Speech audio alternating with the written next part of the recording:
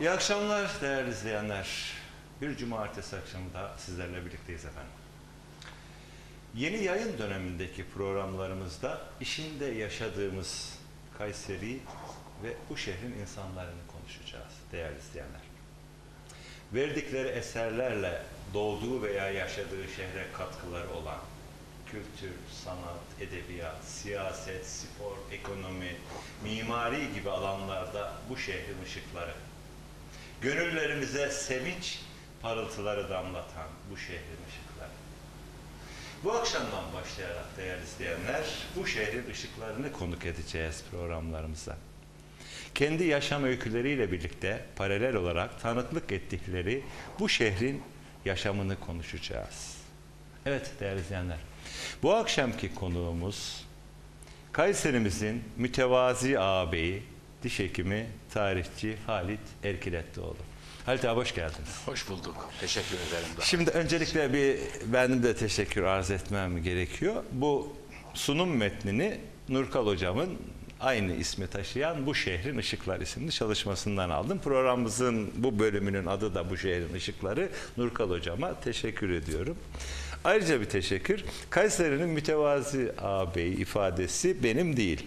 Seyit Burhanettin Akbaş hocamın onun internet sitesinden bu yazıdan aldım. Onu da sahibine teslim edelim.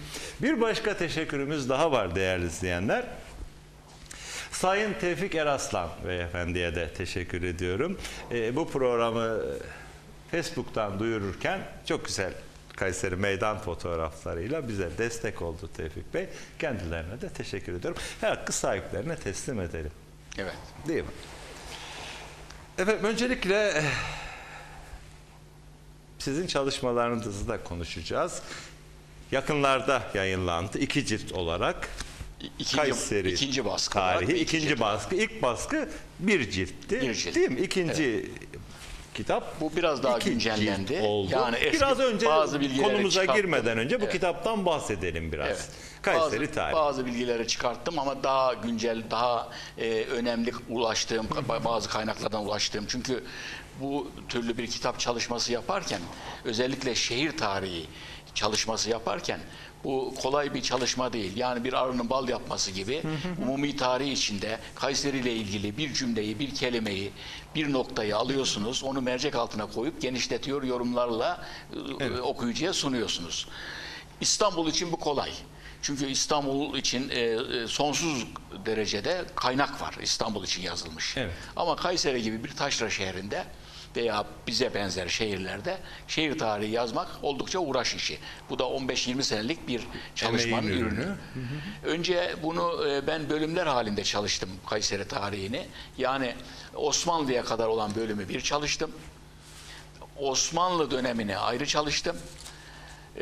O- Osmanlılardan sonra yakın tarihimizden notlar isimli Cumhuriyet dönemi veya e, 1900'lü yılların başından itibaren olan bölümü de daha sonra çalıştım.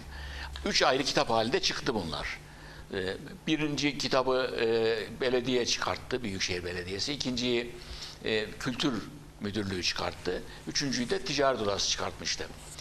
Ee, Şimdi bu kitaplar hem dağınık oldu hem de böyle kurumlar eliyle çıkarılan kitaplarda Ali Bey gerçekten meraklısına ulaşmıyor kitap. Evet. Yani kurumlar onu rastgele işte yani kendileriyle ilişkisi olan kişilere bu işe Kayseri tarihine merak olsun olmasın veya tarihe merak olsun olmasın veya kültüre merak olsun olmasın kişilere dağıtıyor kitapları. Dolayısıyla e, gerçekten ihtiyacı olan bu kaynak olarak kullanmak isteyen veya öğrenmek isteyen kişiler kitaplara ulaşamıyorlar. Evet, sizin sitenizde galiba kitabın tanıtımı ile ilgili bir üniversite öğrencisi ben tez hazırlayacağım bu kitaba nereden ulaşabilirim diye Facebook'ta bir not Evet. gördüm ben. Evet. Üniversite öğrencisi Geliyorlar yazmış. öyle. Evet. Ee, şimdi bu bakımdan kitabın bir yayın evi tarafından çıkarılması ve piyasaya çıkması önemli. Parasal açıdan değil. Evet. Dışarıda satılması açısından değil ama gerçekten e, ilgilenene ulaşması açısından bu önemli. Bu kitabı da bu şekilde üç cilt halinde çıkarttıktan sonra yeni bilgilerle çünkü her dakikada yeni bilgiler çıkıyor. Evet. Şimdi Benden evvel Kayseri tarihi çalışması yapanlar var. Kemalettin Karamete var mesela. Ondan sonra e, e, yani de, de- farklı şeylerde farklı yönleriyle. Mesela Albert Gabriel'in var e, mimari açıdan incelemiş. Bütün o dönemde 1927'de gelmiş. E, Halletem'in var Kayseri tarihi. Halletem'in Kayseri şehri var. 1918 Daha çok Kayseri? Selçuklu dönemini anlatan. Bu kitaplar var. Ee, fakat bunların çalışma yaptığı zamanlarda kaynaklara ulaşmak çok kolay olmuyormuş. Evet. Şimdi bizim zamanımızda bu internet dolayısıyla bilgiye ulaşmak çok kolaylaştı. Dolayısıyla e, onlardan farklı derli toplu bir tarih meydana getirebildim ben. Bana kısmet oldu bu iş. Tabii çok eksikleri vardır. Bu işin uzmanları daha iyilerini yazarlar inşallah. Biz de onlardan faydalanırız. Emeğinize Ama sağlık. E, şu ana kadar böyle bir şey pek olmadı. Benim bu kitap e, son olarak o üç cildi bir araya getirdim. İki cilt olarak bunu bin sayfadır ikisinin toplamı. Bin sayfalık bir derli toplu Kayseri tarihi oluştu. Bunun amacına ulaştığı kanaatindeyim ben. Evet. Her ne kadar ben e, tahsil olarak tarihçi değilsem de diş hekimiyim ben Evet. biliyorsunuz. Değilsem de ama bu iş bir sevgi işi, çalışma işi, emek işi, gayret işi. Bu gayreti emeği gösterdiğime inanıyorum. Bu şehri seviyorum çünkü ben. Bu şehrin çocuğuyum. Burada Sevmeden doğdum. olmaz. Bu- Burada büyüdüm, evet. burada okudum.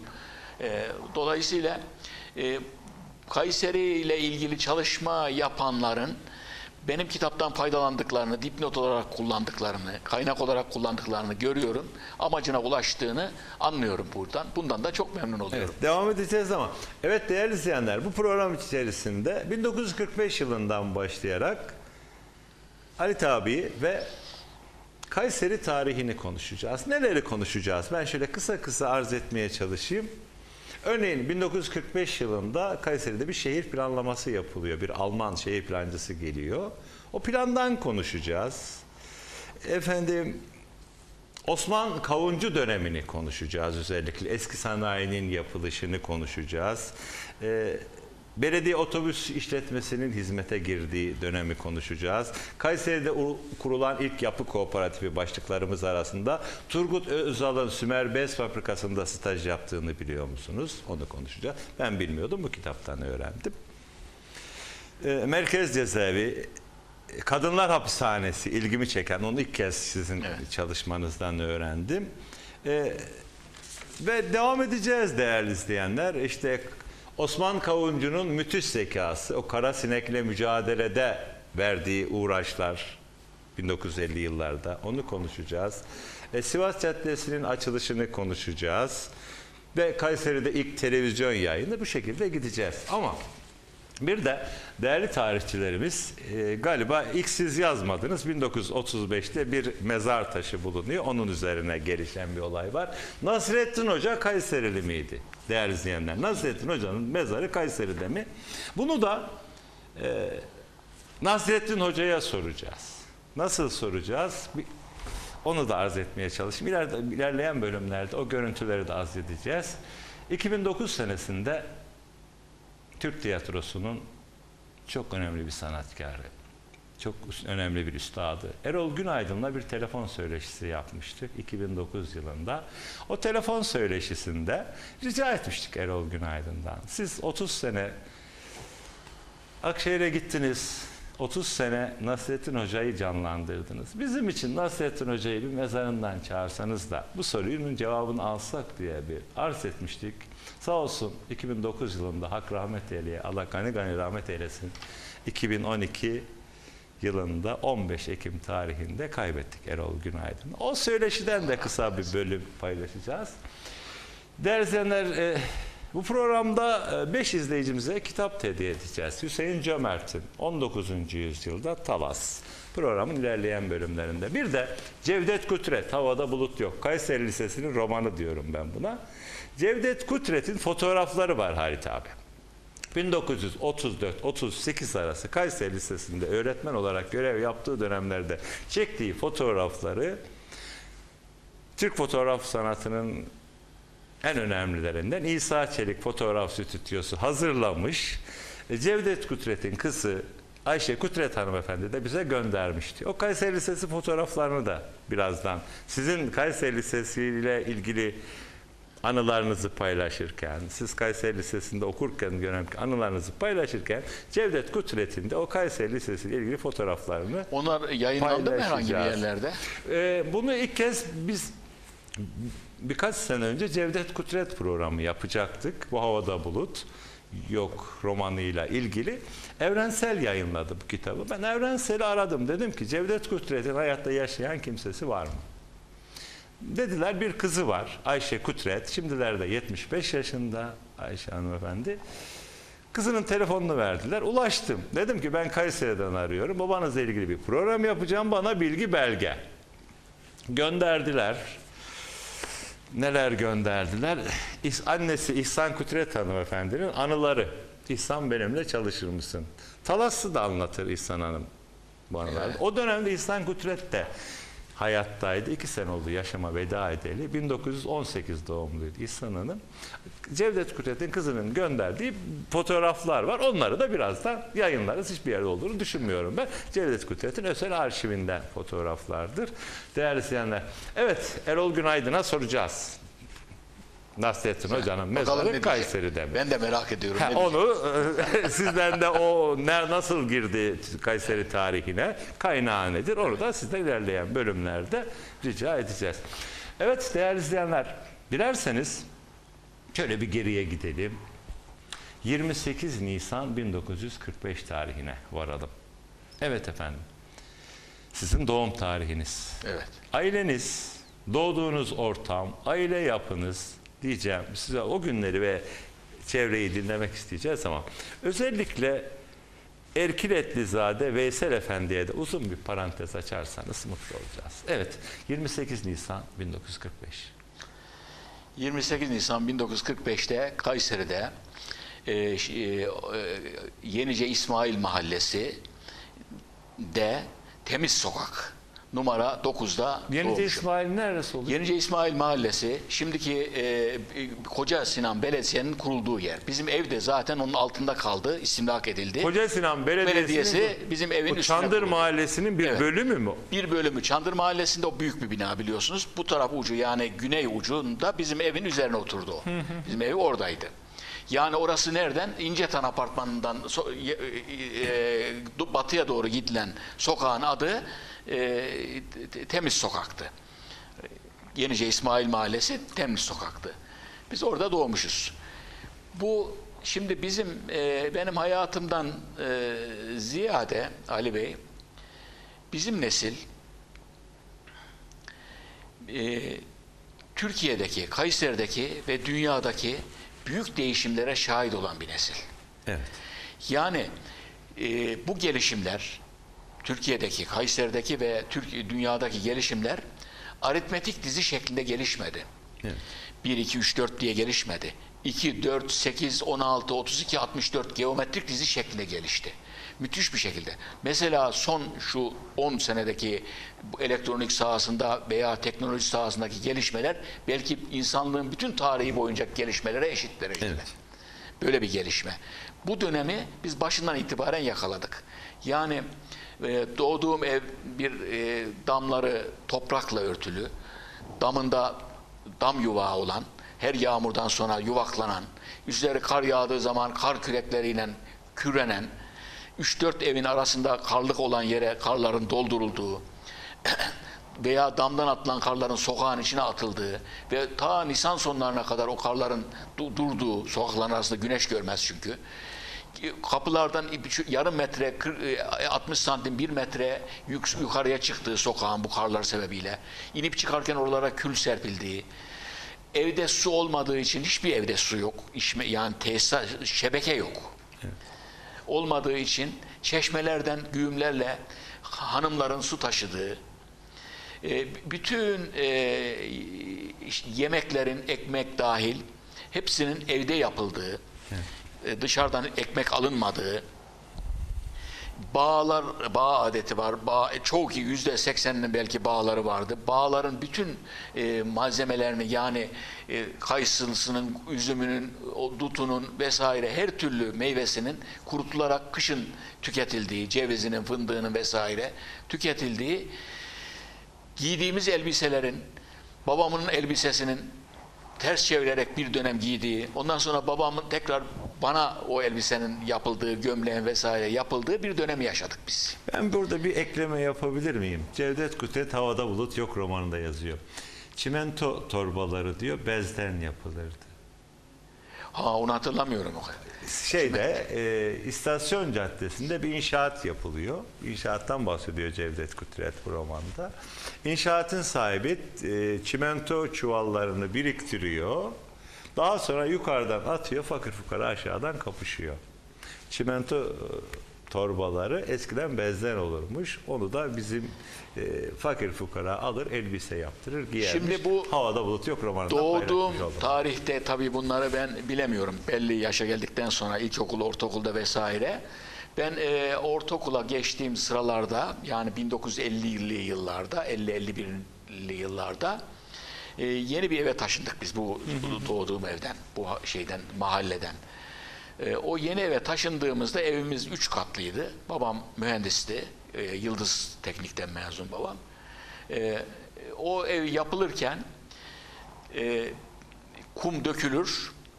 Ameleler e, onu kürekleri ters çevirerek birbirine şeyleri karıştırırlar kumla çimentoyu. İşte e, bir mi- mikap e, kuma 5 torba, 6 torba vesaire gibi ölçüleri var onların. Sonra gecgere denilen iki taraftan iki, iki tane e, amelenin tuttuğu bir e, taşıyıcıyla şey üstüne konur çimento ha- ha- harç konur. Bu eve getirilir. Eve de evin yüzüne de üç katlı evin yüzüne de e, iskele kurulmuştur. Kademelidir iskele. Önce bu gecgereden birinci kademeye kürekle atılır. İki, birinci kademeden ikinci kademeye kürekle atılır ve en, en üst kata kadar şey çimento harç çıkartılır. Böyle bir dönem yaşadık. Ondan sonra arkadan beton makineleri çıktı dönerek betonu karıştıran. Ee, ve şimdi de biliyorsunuz beton santralları çıktı. Artık bu işler e, ölçüye şeye göre yapılıyor, makinalaştı. O dönemi yaşadık ama. Şimdi o benim doğduğum zamanda doğduğum veya e, ilkokulu hatta ortaokulun birinci, ikinci sınıfına kadar e, yaşadığım evde e, toprak damdı, taştı bütün evler. Bütün evler, çevredeki evler öyleydi. E, sokakları açılırdı. E, fakat bu mahallede müthiş bir komşuluk özelliği vardı, yakınlığı vardı. Hele bahar mevsimlerinde, ben şimdi o evi hatırladıkça baharı hatırlıyorum. Dama çıkardık. Damların üzeri güllüm bebek. Yani papatyalarla dolardı. Bütün damların üstü. Damlar bitişik olduğu için bir damdan bir dama ta uzun başka mahallelere gidilebilirdi. Yani damlardan yürüyerek. Böyle bir şeydi. Ve orada e, işte bir, komşular bir araya gelerek e, yemekler yenirdi. Uçurtmalar uçurulurdu o damlarda. E, Öyle güzel bir hayat vardı. Şey çok hoş, papatyaların çiçek açtığı damlar. Baharda. Baharda gü- güllüm bebek öyle açardı. Güzel bir şeydi, havaydı o. Fakat şehirde kanalizasyon yoktu. İçme suyu şebekesi de yoktu. Bunlar kavuncuyla beraber geldi biliyorsunuz. Kayseri kanalizasyon daha sonra Çalık'la geldi biliyorsunuz. Dolayısıyla şehirde çok büyük bir kirlilik vardı. Bir de şehirde e, hayvancılık yapan çok aile vardı. Sucuk pastırma evde yapılırdı. Evde hayvan beslenirdi. Sular biliyorsunuz işte böyle çeşmelerden taşınır. Bizim mesela suyumuzu Hacı Kılıç Çeşmesi'nden veya Orta Mahalle'de bir çeşme vardı. Oradan gelirdi. E, kadınlar taşırlar, güğümlerle taşırlardı. E, bir de evin içinde hayatı, hayat vardı. Hayat avlu. Ha, ismi ama hayat, yaşama alanı. Bu dışarıya kapalı. Hayat ismi oradan mı geliyor? Oradan geliyor. Yaşama, Yaşama alanı. alanı, Aslında tabii. avlu ama Tamam, biz hayat demişiz. Hayat. Yaşama alanı anlamında. Onun bir köşesinde de bir kuyu vardı ama onun suyu içilmez kullanırdık daha ziyade. Ortasında da çağ vardı. O, o çamaşır vesaire o hayatın içinde bütün hayat orada geçerdi. Bu dışarıya duva, e, sokağa yüksek duvarlarla kapalıydı burası. İçeri bile şey etmezdi. Bütün evler böyleydi aşağı yukarı. E, böyle bir ortamda kışın bir odada oturmak, bir odada yemek yemek mecburiyeti vardı. Çünkü ısıtma problemi vardı. Soba yanardı bir odada. Ee, sobada da çok fonksiyonlu soba. Yani hem işte yemek pişirilir hem o, o, o dönemde şimdi çok yaygın olan çay içme adeti yoktu. Çay içilmezdi. Çorba içilirdi sabahleyin. çay yok. Çay yok mu? Çay hayır. kültürü yok. Hayır. Yani kültürü yoktu. Çay vardı muhakkak da. Çay içilmezdi. Kimse içmezdi çay. Peki ama bir şey daha benim merakımı celbetti şimdi. Sobaya geçmeden önce iskemle mi iskembe mi diyeceğim. İske- Bir böyle o, o kültür var mı sizde? Şimdi iskembe- iskem Tam sözcüğü ben kullanamam. İskembe. İskembe, iskembe mi İskembe. diyeceğim? İskembe, iskembe bizim evde yoktu ama iskembe olan evler akrabalarımız vardı. Yani büyükçe bir masa olur. Masanın üzerine bir yorgan veya kalın bir örtü örtülür. Altına daha önceden e, şeysi dumanı giderilmiş ta- e, mangal yakılır dışarıda çünkü zehirler o biliyorsunuz. E, karbon monoksit zehirlenmesi olabilir. O önceden iyice ateş kor haline getirilir. O şeyin altına konur masanın altına. Sedirin genellikle köşesine kurulur. Köşesine kurulduğu için herkes gelir o yorganın altına veya işte minderin üzerine örten minderin altına belden aşağısı girer. Ama bunun birkaç faydası vardı yani şimdi düşünüyorum. Bir aile fertleri mecburen bir masanın etrafında otururlardı. Birleştirici bir özelliği Tabii var. çocuklar da, en yaşlılar da, orta yaştakiler de, evin gelini de, damat da veya büyük baba da, dede de, e, ilkokula giden çocuk da bir arada otururdu. Dolayısıyla bir kültür alışverişi olurdu. Yani dededeki, büyük babadaki e, ya- kültür en küçük çocuğa intikal ettirilirdi bu masanın başında. Çünkü bu kış gecelerinde böyle olurdu genellikle. Ve masanın üzeri de işte bu bağdan gelen mahsullerle de donatılırdı. Yani işte ceviz, e, badem, kuru kayısı, kuru e, üzüm, dut vesaire gibi. Bunlar da bir taraftan yenirdi böyle.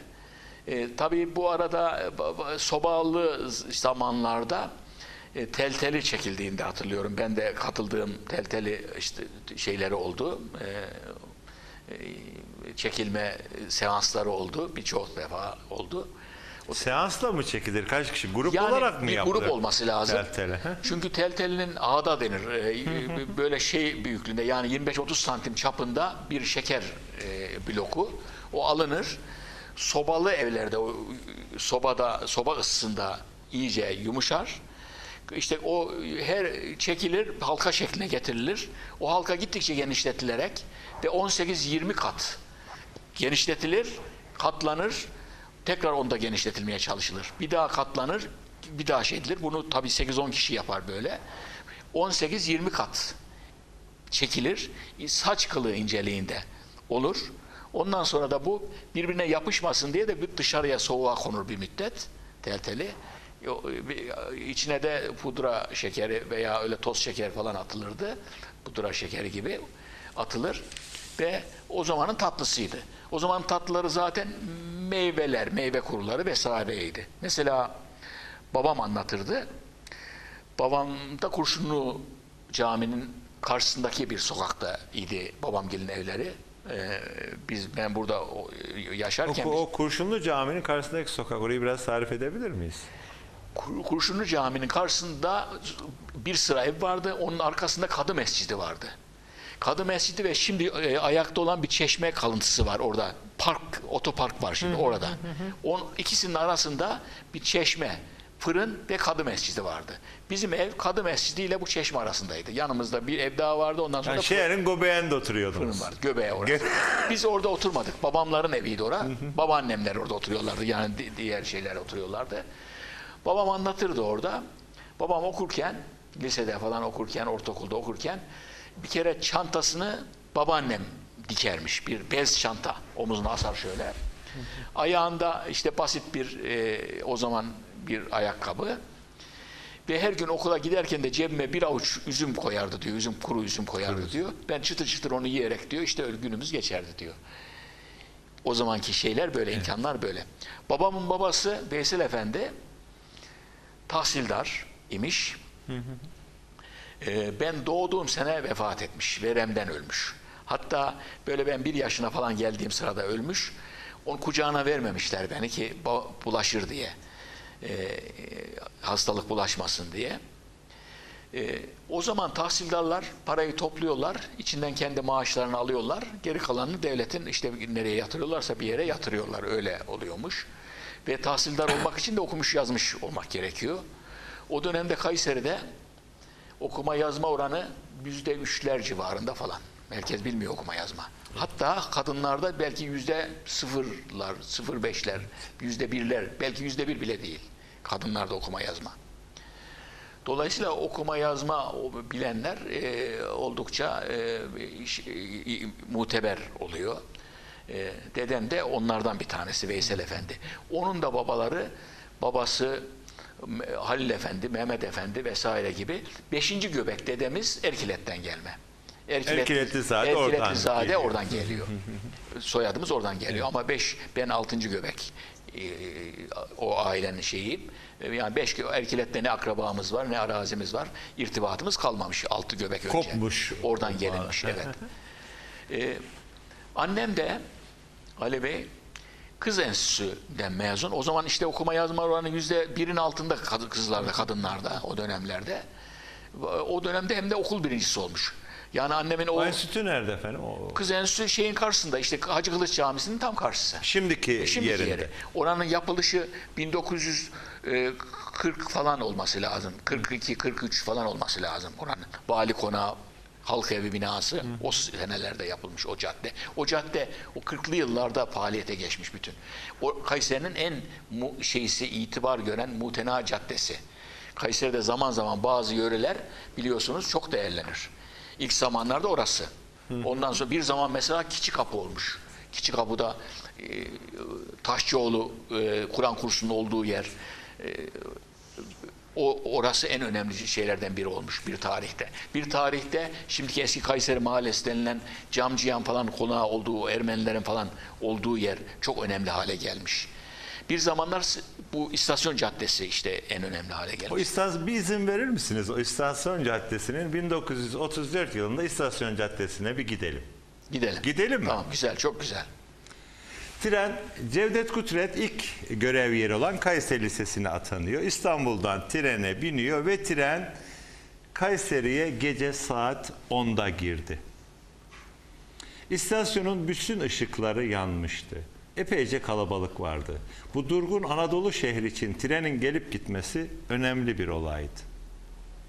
Süleyman, e, romandaki öğretmen karakterinin adı, Süleyman bavulunu aldı. Şehre giren yabancıların kim olduklarını öğrenmek göreviyle istasyon yapısının kapısında bekleyen polis memuruna kimliğini bildirdi. Sonra yapının arkasındaki küçük meydanda fenerlerini yakıp yan yana sıralanmış arabalardan birine bindi. İstanbul Oteli'ne dedi. Şehrin bu en ünlü otelin adını daha İstanbul'dayken öğrenmişti. Araba bir süre demir yolları memurları için ayrılmış evlerin bahçeleri önünden gitti. Sonra sağa saptı. İki yanı ağaçlı, karanlık bir yola daldı. Süleyman yalnızlığını büsbütün duyuyor, geleceğe doğru gidiyormuş gibi bir sanıya kapılıyordu. 5-10 dakika sonra otele vardı. Vardı otele. Yani istasyon caddesini tarif ediyor değil mi? İki Şimdi- yanı ağaçlı, karanlık bir yol Cevdet Kudret'in ifadesiyle. Şimdi e, biliyorsunuz Araya 19- girdim, bağışlayın. 1934'te geldiğini 34'te söyledi. geldi, 34'te evet. geldiğini. 1900 t- trenin Kayseri'ye gelmesi 1927 Evet. biliyorsunuz. Ankara Kayseri hattı 1927'de tamamlandı. 1930'da da Sivas'a kadar tamamlandı. Fakat istasyon binası klasik bir binadır o biliyorsunuz. Bütün birçok istasyonda kar binası yapılmıştır. 1927'de yapılmadı o. 1930'da Daha yapıldı. sonradan. Daha iha- ihale edilerek bir tip proje olarak Kayseri'ye başka yerlere de yapıldı bu proje. Yani 34'te geldiğine göre o istasyon binasının tam yapıldığı sırada e, ondan 3-4 sene sonra gelmiş. Fenerleriyle arabalar Evet. fenerlerini yakmış pek. Kayseri'de 1927'de veya 30'da da henüz şehirde elektrik yok. Keçikapı'da 1927'de bir küçük santral kurulmak suretiyle sadece Keçikapı ve etrafında bazı yerler aydınlatabilmiş. Daha sonra biliyorsunuz Sızır'dan elektrik alındı. Bünyan'dan santral yapıldı. Bünyan'dan elektrik alınmak suretiyle gittikçe genişledi bu elektrik verilmesi. Onun için de karanlık şeyler. Ben bir Kayseri Lisesi fotoğrafı görmüştüm. Ee, şeyde e, kitapta da yayınladım ama oraya oraya tam net çıkmamış. Lisenin tek katlı olduğu bir dönemde yani Kayseri Lisesi 1904'te yapıldı. Bu 1904'te yapıldığında karşıda kilisenin papazları itiraz ediyorlar Osmanlı Devleti'ne. Görünüşünü kapatıyor kilisenin diye. Karşıdaki Asvatzatsın Kilisesi, Surp Asvatzatsın. Şu anda e, yurt binası şey e, e, orada e, spor sağ, şey, kültür e, şeysi falan yapıyorlar herhalde içinde bir tadilat var yani. O papazlar itiraz ediyorlar 1904'te. Dolayısıyla bir, birinci katta durduruyorlar inşaatı. Birinci katı bir müddet tedrisata devam ediyor. Kayseri İdadisi'nin. Ondan sonra 1917 yılında artık Osmanlı otoritesi azaldığı bir dönemde e, Kayseri Lisesi'nin ikinci katı tamamlanıyor. 1917'de tamamlanıyor. E, dolayısıyla o e, 1917, 18, 19 yıllarında Kayseri Lisesi'nin bahçe duvarının kenarında bir elektrik direği. Ama üzerinde elektrik yok. Fener var üzerinde. Yani akşam saatlerinde belediyenin görevlendirdiği bir görevli her gün geliyor 20-30 tane şehrin bazı yerlerindeki bu direklere e, o indiriyor o fenerleri, yakıyor herhalde bezir yağıyla neyle yanıyordu bilmiyorum. Herhalde galiba bezir yağıdır. Onu yakıyor ve çe- yukarı çekiyor. Sabahları da söndürüyor onu. Şehir böyle. Şehrin bu dediğimiz zamandaki nüfusu da işte 35 bin, 40 bin, belki 50 bin. Peki Kayseri Lisesi'ni terk etmeden önce ben bir, bir, bir, bir konudaki sizin yorumunuzu rica edeceğim. Şimdi İstanbul'da e, Bakırköy'de bir okul var. Tarık Akan işletiyordu. Taş Mektep. Değil mi? Evet. Onu bir yere koyuyoruz. Şimdi bizim Kayseri Lisesi'ne de son zamanlarda Taş Mektep deniliyor. Katılıyor musunuz? Evet, deniyor. Şimdi İstanbul'da şunu anlarım Halit abi. Orada ahşap evler de var, ahşap okullar var. Oradaki okul taştan yapıldığı için oraya taş mektep denilmiş. Ama Kayseri'nin tarihinde pek ahşap evler yok. Bütün okullar, binalar taşla taştan yapılıyor. zaten. Şimdi Kayseri Lisesi'nin taş mektep dermenin bir anlamı oluyor mu? Bütün binalar zaten taş. Bunu nasıl değerlendiriyorsunuz? Yani taş mektep diye. Kayseri İdari Lise eski adı.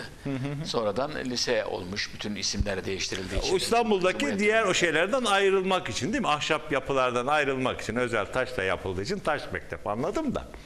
Kayseri'de bütün binalar taşla yapılıyor. Niye şimdi Kayseri Lisesi'ne taş mektep diyoruz? Bunu Şimdi ben Türkiye Cumhuriyeti e, bizim şu anda yaşadığımız şartlarda kurulmadı. yani o günün şartlarıyla düşünmek lazım. Ya, yokluk içinde kuruldu hakikaten. Size ben bir olay anlatayım. Mesela e, 1927'de Amerika Birleşik Devletleri Türkiye'ye bir elçi tayin ediyor ilk defa. Şimdi Amerika ile de ilişkilerimiz var ya ondan şey edelim diye. Bu elçi Kayseri'ye geldiğin şeye geldiğinde e, Ankara'ya geldiğinde şeyle görüşmek istiyor. Mustafa Kemal Paşa ile görüşmek istiyor. Daha o zaman Atatürk değil. Biliyorsunuz Atatürklüğü soyadı, Soyadı kanundan sonra oldu. sonra, evet. 4 sene zaten Atatürklüğü. 1934 38 34 arası. 38. Mustafa Kemal Paşa ile görüşmek istiyor fakat asla görüşemiyor. Kabul etmiyor yani elçiyi. Dışişleri Bakanı Tevfik Rüştü arası onunla görüşmek istiyor. O da uzun zaman kabul etmiyor. Nihayet bir şeyde bir akşam toplantısında falan görüşebiliyor şeyle e, Dışişleri Bakanı'yla. Dışişleri Bakanı'na şunu söyleyecek. Görüşme maksadı bu. Benim hükümetim buraya elçi tayin etti beni. Siz de benim oraya e, bizim Amerika'ya, Amerika Birleşik Devletleri'ne karşılığında elçi mukabilinde gönder. elçi göndermenizi bekliyor hükümetim diyecek. Bunu diyor nitekim. Fakat Türkiye Cumhuriyeti hükümeti elçiyi tayin etmiş. Fakat Amerika'ya gönderecek parası yok ve orada onu ikamet ettirecek bir ev tutacak parası yok. Evet.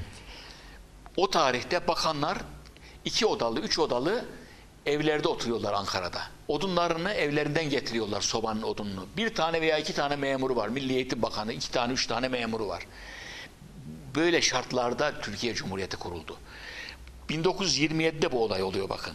1927'de bu olay olduğu sırada Kayseri, Ankara, Kayseri tren hattı yapılıyor. Çok önemli bir olay. Yani makinalaşma yok.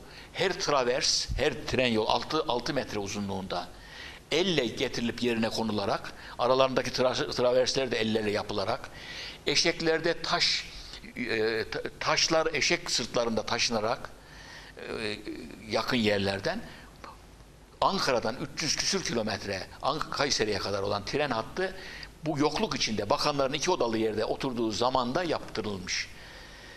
1925'te de biliyorsunuz burada uçak fabrikası yapıldı. Almanların desteğiyle uçak falan yapıldı. Yani o günkü hükümetin önceliklerini vurgulamak için bunu söylüyorum. Ee, Böyle bir dönem yaşanıyor yani yokluk içinde. Şimdi bu yeni kurulmuş cumhuriyetin bir takım e, güçlü hikayelere ihtiyacı var. Evet.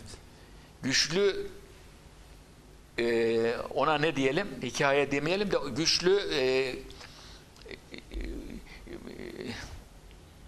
hikaye diyelim.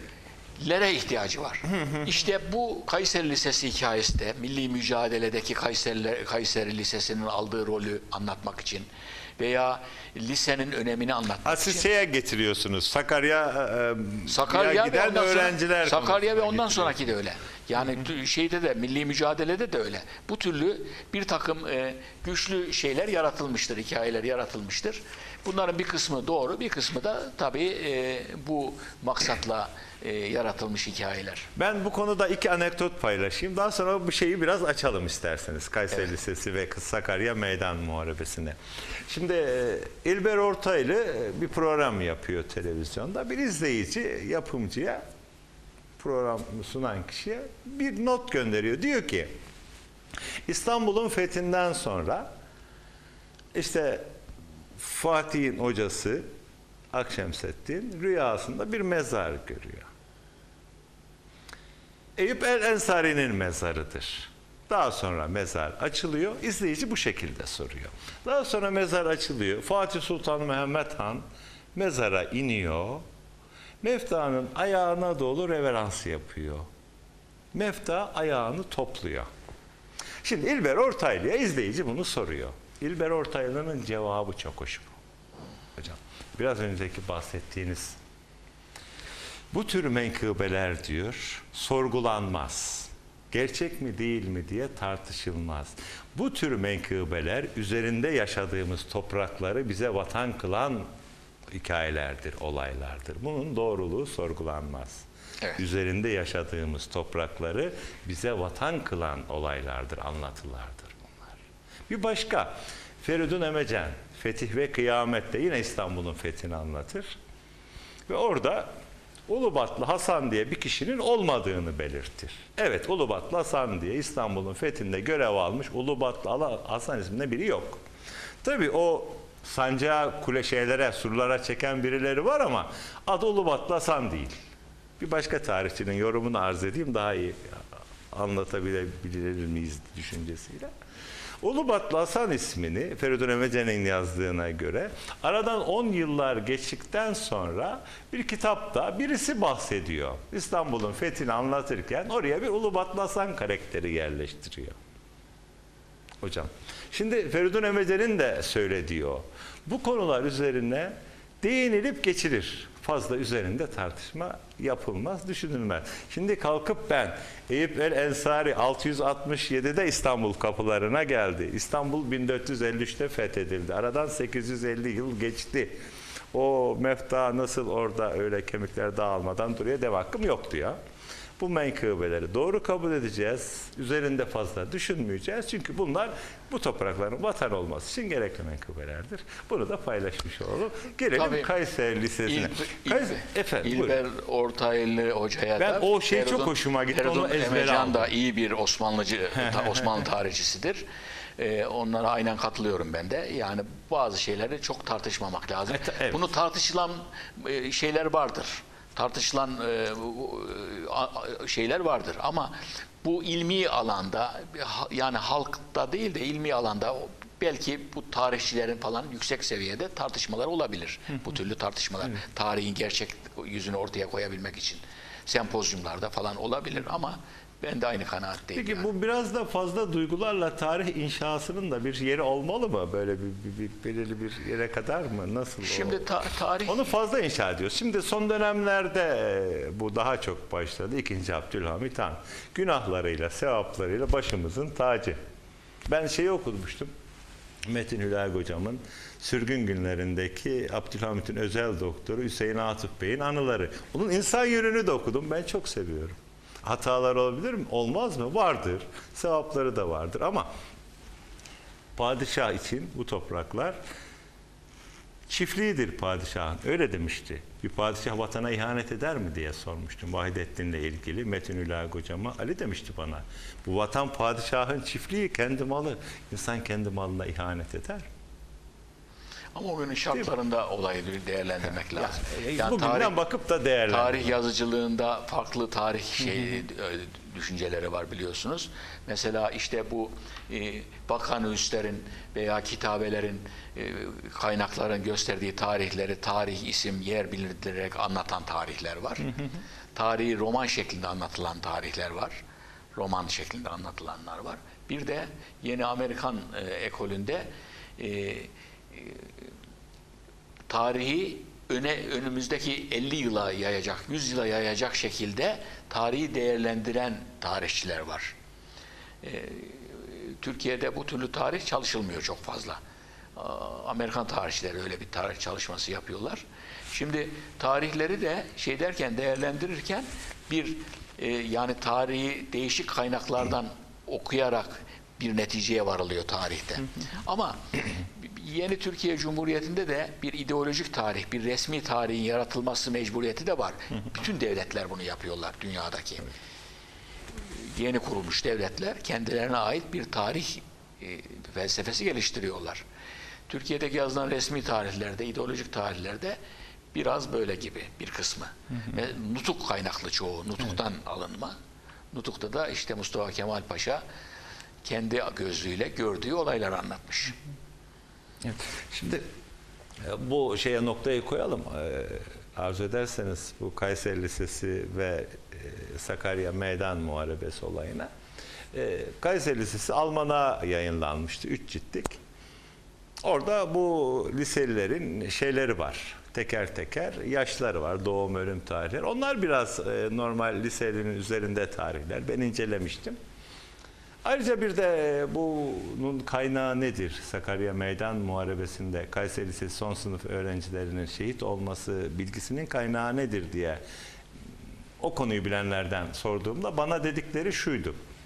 Cahit Külebi ismi veriliyordu. İşte Cahit Külebi Ankara'da bir konferansta veya bir sohbette bunu belirtmiş. Demiş ki Cahit Külebi, ben Kayseri Lisesi'ni Milli Eğitim Müfettişliği yaptığım dönemde Kayseri Lisesi'ni ziyaret ederken, teftiş ederken böyle bir belgeye rastladım.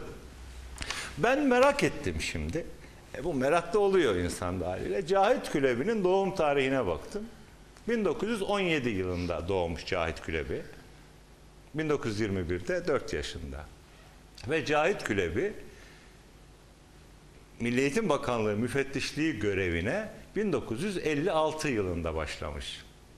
Şimdi 1956 yılından sonra Kayseri Lisesi'ni ziyaret etmiş olmalı ve o defterleri o 1956'dan sonra görmüş olmalı. Peki 1956'ya kadar orada görev yapan kimse görmedi mi? Yani bu gibi tür sorularda insan kendi kendine Görmemiş olabilir. soruyor. Arşivlerinde duruyorsa oradan ince, inceleme Yani ihtiyacı müfettiş geldiğinde aşağıda Bodrum'da arşivlerde neler var onları çıkartıp meraklıysa Yani. çıkartıp bakmıştır yani. Görmemiş olabilir. Bu şu e, şu çılgın Türkler kitabında Turgut da bu an- anlatıldı biliyorsunuz bu e, şey. Yani bu türlü bu türlü şeylerin çok önemi var. Şimdi Kayseri Lisesi'nde yani değerli seyircilere ben bunu özellikle söylemek isterim. Milli Mücadele Müzesi açıldı biliyorsunuz belediye öncülüğünde. Çok önemli bir şey. Yani belediyenin yaptığı en önemli işlerden bir tanesi bu. Orayı muhakkak gezilmesi lazım oranın. Her Kayserili'nin orayı görmesi lazım. Her günde açık. Pazartesi hariç her günde açık. E, Muhakkak orayı her Kayserili'nin görmesi lazım. Her Kayserili değil. Yani yolu düşen herkesin Herkesin görmesi lazım. Gerçekten güzel dizayn edilmiş. Hem görsel hem e, malzemeler de konmuş. O döneme ait malzemeler de konulmuş. Hem sesli. Yani modern müzecilik anlayışına uygun şekilde kurulmuş bir müze. Bu konuyla ilgili Kuranlara teşekkür Evet. ediyorum. Tebrik Emeği ediyorum. Başta belediye başkanımız olmak üzere. Şimdi değerli izleyenler bu konuyla ilgili Gesi Vakfı internet sitesinde bir yazı var. Bu yazıyı da bize Hüseyin Cömert Hocam e, kendi Facebook hesabından paylaşmış. Etem Ruh- Ruhi Öker. E, bu yazıyı Ethem Bey'in oğlu yazmış o siteye. konu şöyle değerli izleyenler. Ethem, Ethem Ruhi Öker 1900 yılında Gesi'de doğdu. Kayseri Lisesi 2. sınıfta iken 1917 yılında Alman ve Türk subaylar liseye gelirler.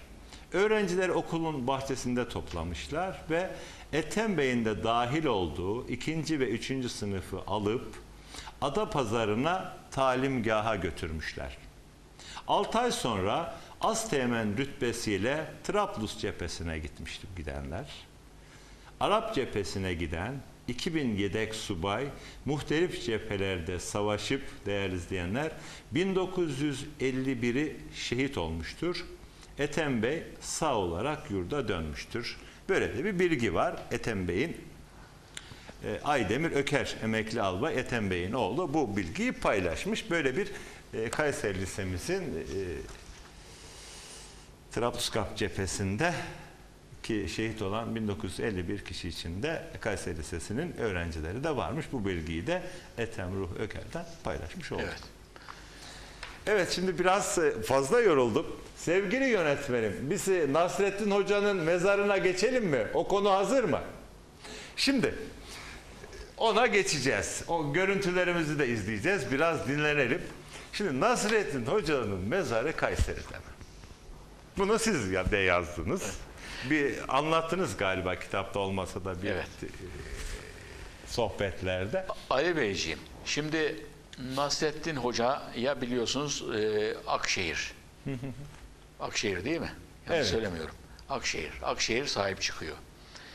Ben Akşehir'e gittim. Nasrettin Hoca'nın mezarı denilen mezarlığın içinde bir türbe yapmışlar. Türbenin ortasında da e, bir e, büyük mezar yapmışlar.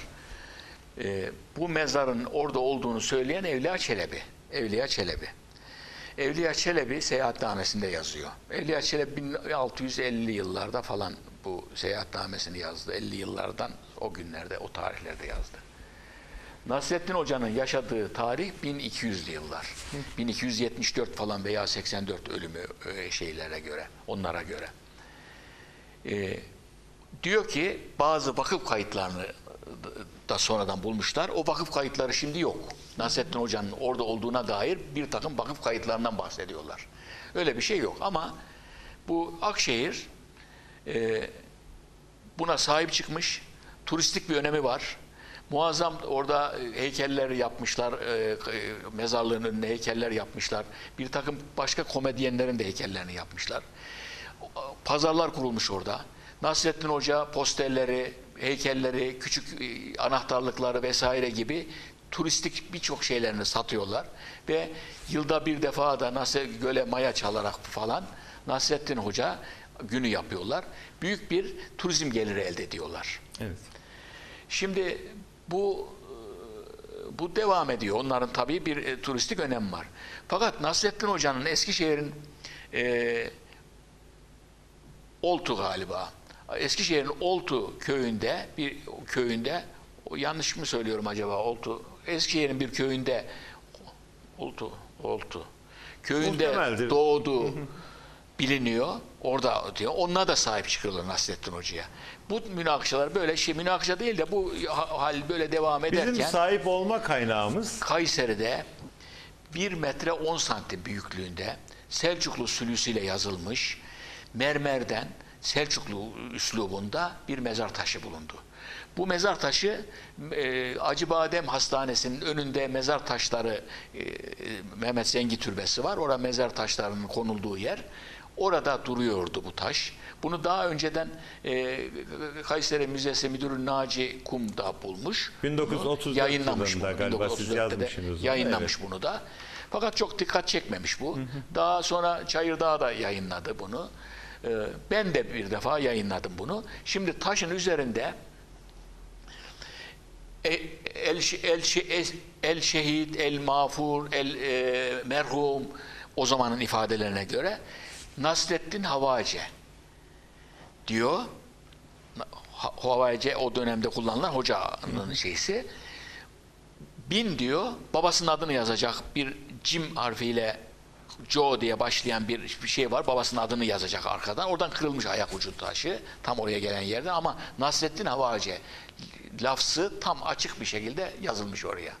Altında da ölüm tarihini yazmış. Safer Ahad bin e, Sittemiye. Kitabı Altı- o taşı da almışsınız galiba. Taşın fotoğrafı da var. 6600 yani Hicri 611. Miladi 1200 küsur tarihe geliyor. Onlar da 1274'te falan öldü diyorlar şeye. Yani o tarihlere yakın bir tarihe geliyor. Hicri 611 yazıyor. Safer ayında öldü diyor. Altında da bir hadis-i şerif var falan var. Şimdi o dönemde 1200'lü yılda 3 tane Nasrettin var. Selçuklu tarihi incelendiğinde İbn Bibi, Aksaray veya Anonim Selçukname incelendiğinde oralarda bu şeyleri yazıyorlar. Nasrettin Hoca bir filozof. Okumuş yazmış bir adam. Medrese görmüş bir adam. Ve çok o kadar esprileri yaptığına göre çok da zeki bir adam. Bir kere tahsil gördüğü muhakkak Nasrettin Hoca'nın. Ee, şimdi o dönemde böyle tahsil görmüş meşhur Nasrettinler kimler diye baktığımızda bir Nasreddin Tusi var, astronom. Tuslu Nasrettin, o Tuslu. Ahi Evren'in ismi de Nasreddin Mahmut. Ahi Evren'in e, esas ismi. Bir de Nasrettin Hoca var. Üç tane Nasrettin var. Bu ikisinin Ahi Evren'in Kırşehir'de öldüğünü biliyoruz.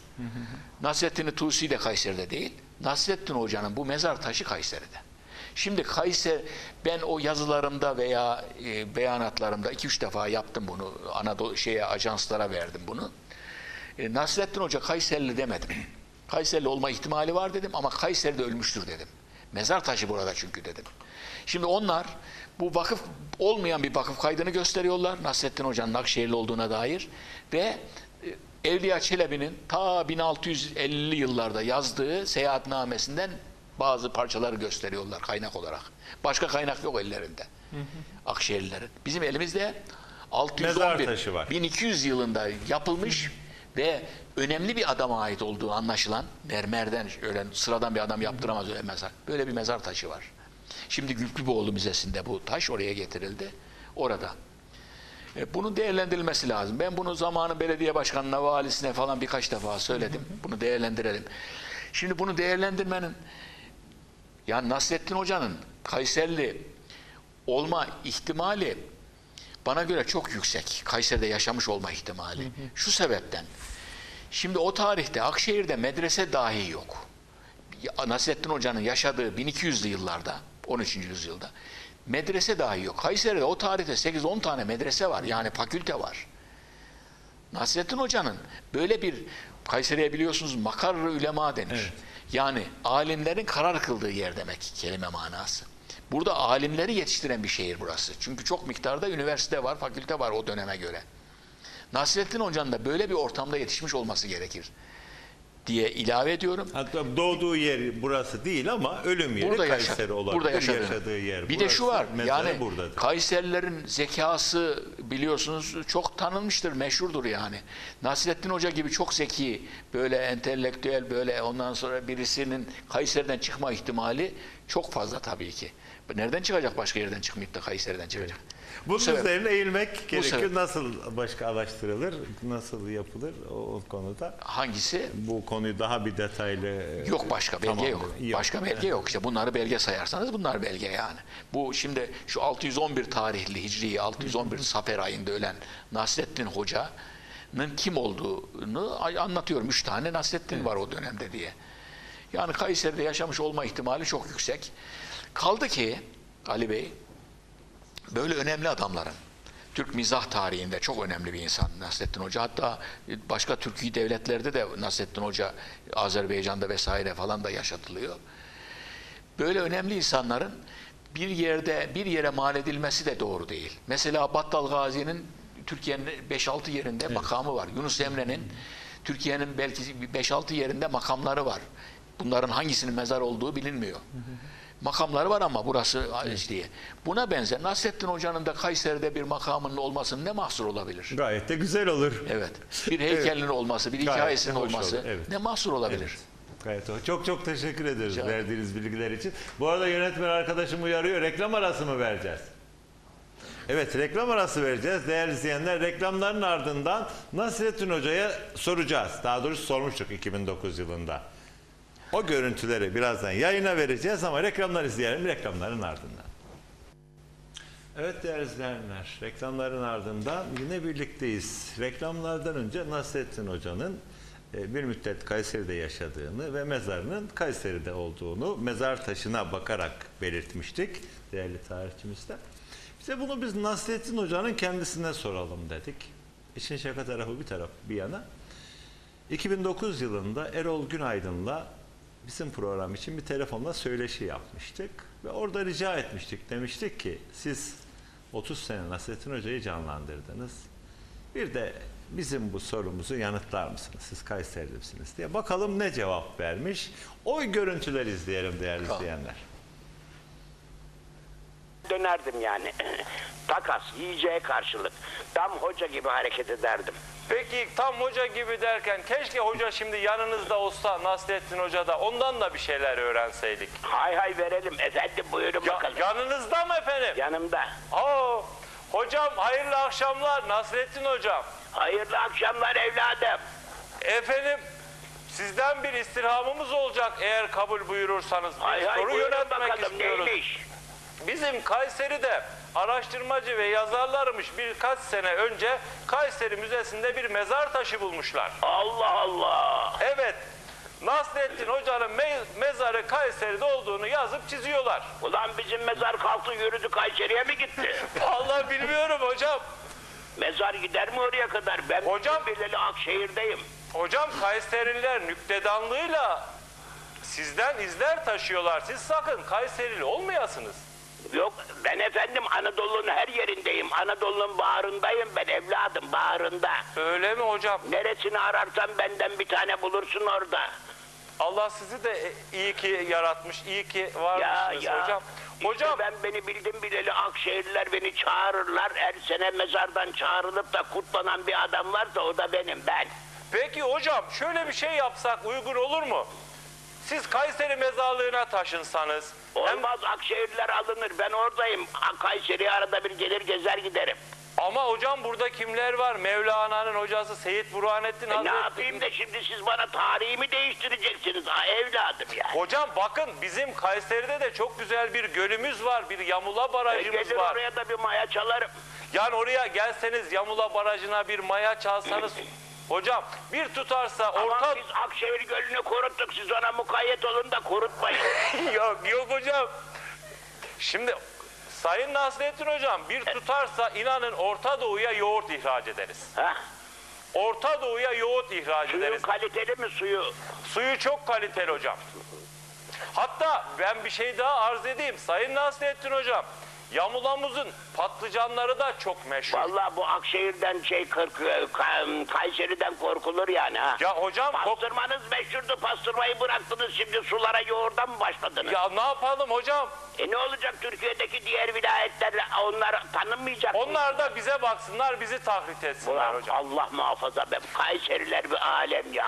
Ya hocam Ha? şimdi hatta yamul patlıcanları da çok ünlü. Yamulanın hoca bayıldı. Pardon E ben hocam. sür- giyer gelir bir gezerim Kayseri'de yolumu bulurum. Tamam hocam. İmam bayıldı konservesi bile yapar Avrupa'ya ihraç ederiz. Ha, imamı bayıltın. İmamı bayıltın. Evet. Ben imama karışmam. Onları bayıltın da ben gelir gezerim imam bayıldıdan da yerim. O Pe- patlıcanlarınızdan da pastırmanızdan da Kayseri bolluk bilirsiniz ben biraz düşkünümdür mideme. Oh ne güzel hocam. Şimdi bu arada Nasret hocam bir şey daha soracağım. Sayın Buyur. Nasrettin hocam. Efendim? Siz eşeğe ters biniyorsunuz. He. E niye ters biniyorsunuz? E ben giderken kimse arkamda kalmasın yüz yüze gidelim ayrılmayalım diye. Öyle mi hocam? Evet nezaketimden Anadolu saygısıdır bu sevgisidir bu. Evet hocam. Sırtımı nasıl döneyim onlara? Peki hocam sağ ol. Hocam bir de bir dönem bir dönem sizi anma günlerinde Evet. Akşehir'deki bir belediye başkanımız bir eğlence programı düzenlemiş. Nasrettin Anlatayım, Hoca'yı da anlatayım. sunucu yapmaya kaldı. Eğlence programı yaptı o belediye başkanı. Hocam iyi de Nasrettin Hoca'nın eğlence programı sunması caiz midir? Olur mu öyle şey? Benim için orada şenlik yapılıyor. Ben zaten mezardan çağrılıp geliyorum. Aslında Akşehir'e misafir olan benim. Bütün gelenler de beni ziyarete geliyorlar. Bana hoş geldin diyorlar. Ben orada kira şeyciyim. Bir günlüğü iki günlüğüne kendi kutlamak için gelmişim. E insanları da eğlence olsun diye artistleri çağırıyorlar. Adam da bana haber yolluyor. Hoca gelsin de bunları sunsun diye. Ulan onların beni sunması gerekirken Değil ben hocam? sunacağım onları. Adama dedim ki ben gelmem oraya dedim. Niye dedi? E onlara sen para veriyorsun. Onlar sunucu. Ben sunucu değilim. Ben hocayım. Burada oturuyorum. Bak kabristandan buraya geldim misafir. Onlar da benim misafirim. Ben de onların misafiriyim. Ben bu işi yapamam. Hem onlara sen para veriyorsun dedim. Peki O zaman sana da para verelim dedi. Evet. İyi onlar kaç para alıyor dedim. 4 milyar alıyorlarsa bana 5 milyar vereceksin dedim. o neden hocam? Neden? Milyarda kavuğun hakkı dedim herife. Aa dedi o zaman gitti ya dedim ben de. Bir mi- Evet, evet değerli izleyenler.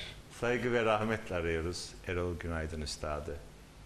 15 Ekim 2012'de yaşama veda etmişti. Haftaya da 15 Ekim bu programında tamamını inşallah ölüm yıl dönümünde yayınlarız. Evet, Haftaya Allah programda. Evet, Nasrettin Hoca bütün Anadolu'dadır dedi. Hak verdi bize. Kayseri'de de olabilir. Katılır Evet, mısınız? tabii. Çok çok teşekkür ediyoruz değerli izleyenler. Rahmet diliyoruz yeniden büyük tiyatro. Evet, e, biz yine sohbetimize, Kayseri tarihimize devam edelim isterseniz. E, 1945 yılında Kayseri Belediyesi bir Alman şehir plancısını davet ediyor. Bir şehir planı yaptırıyorlar. Alman şehir plancısının dediği şu yanılmıyorsam eski şehri olduğu gibi koruyun.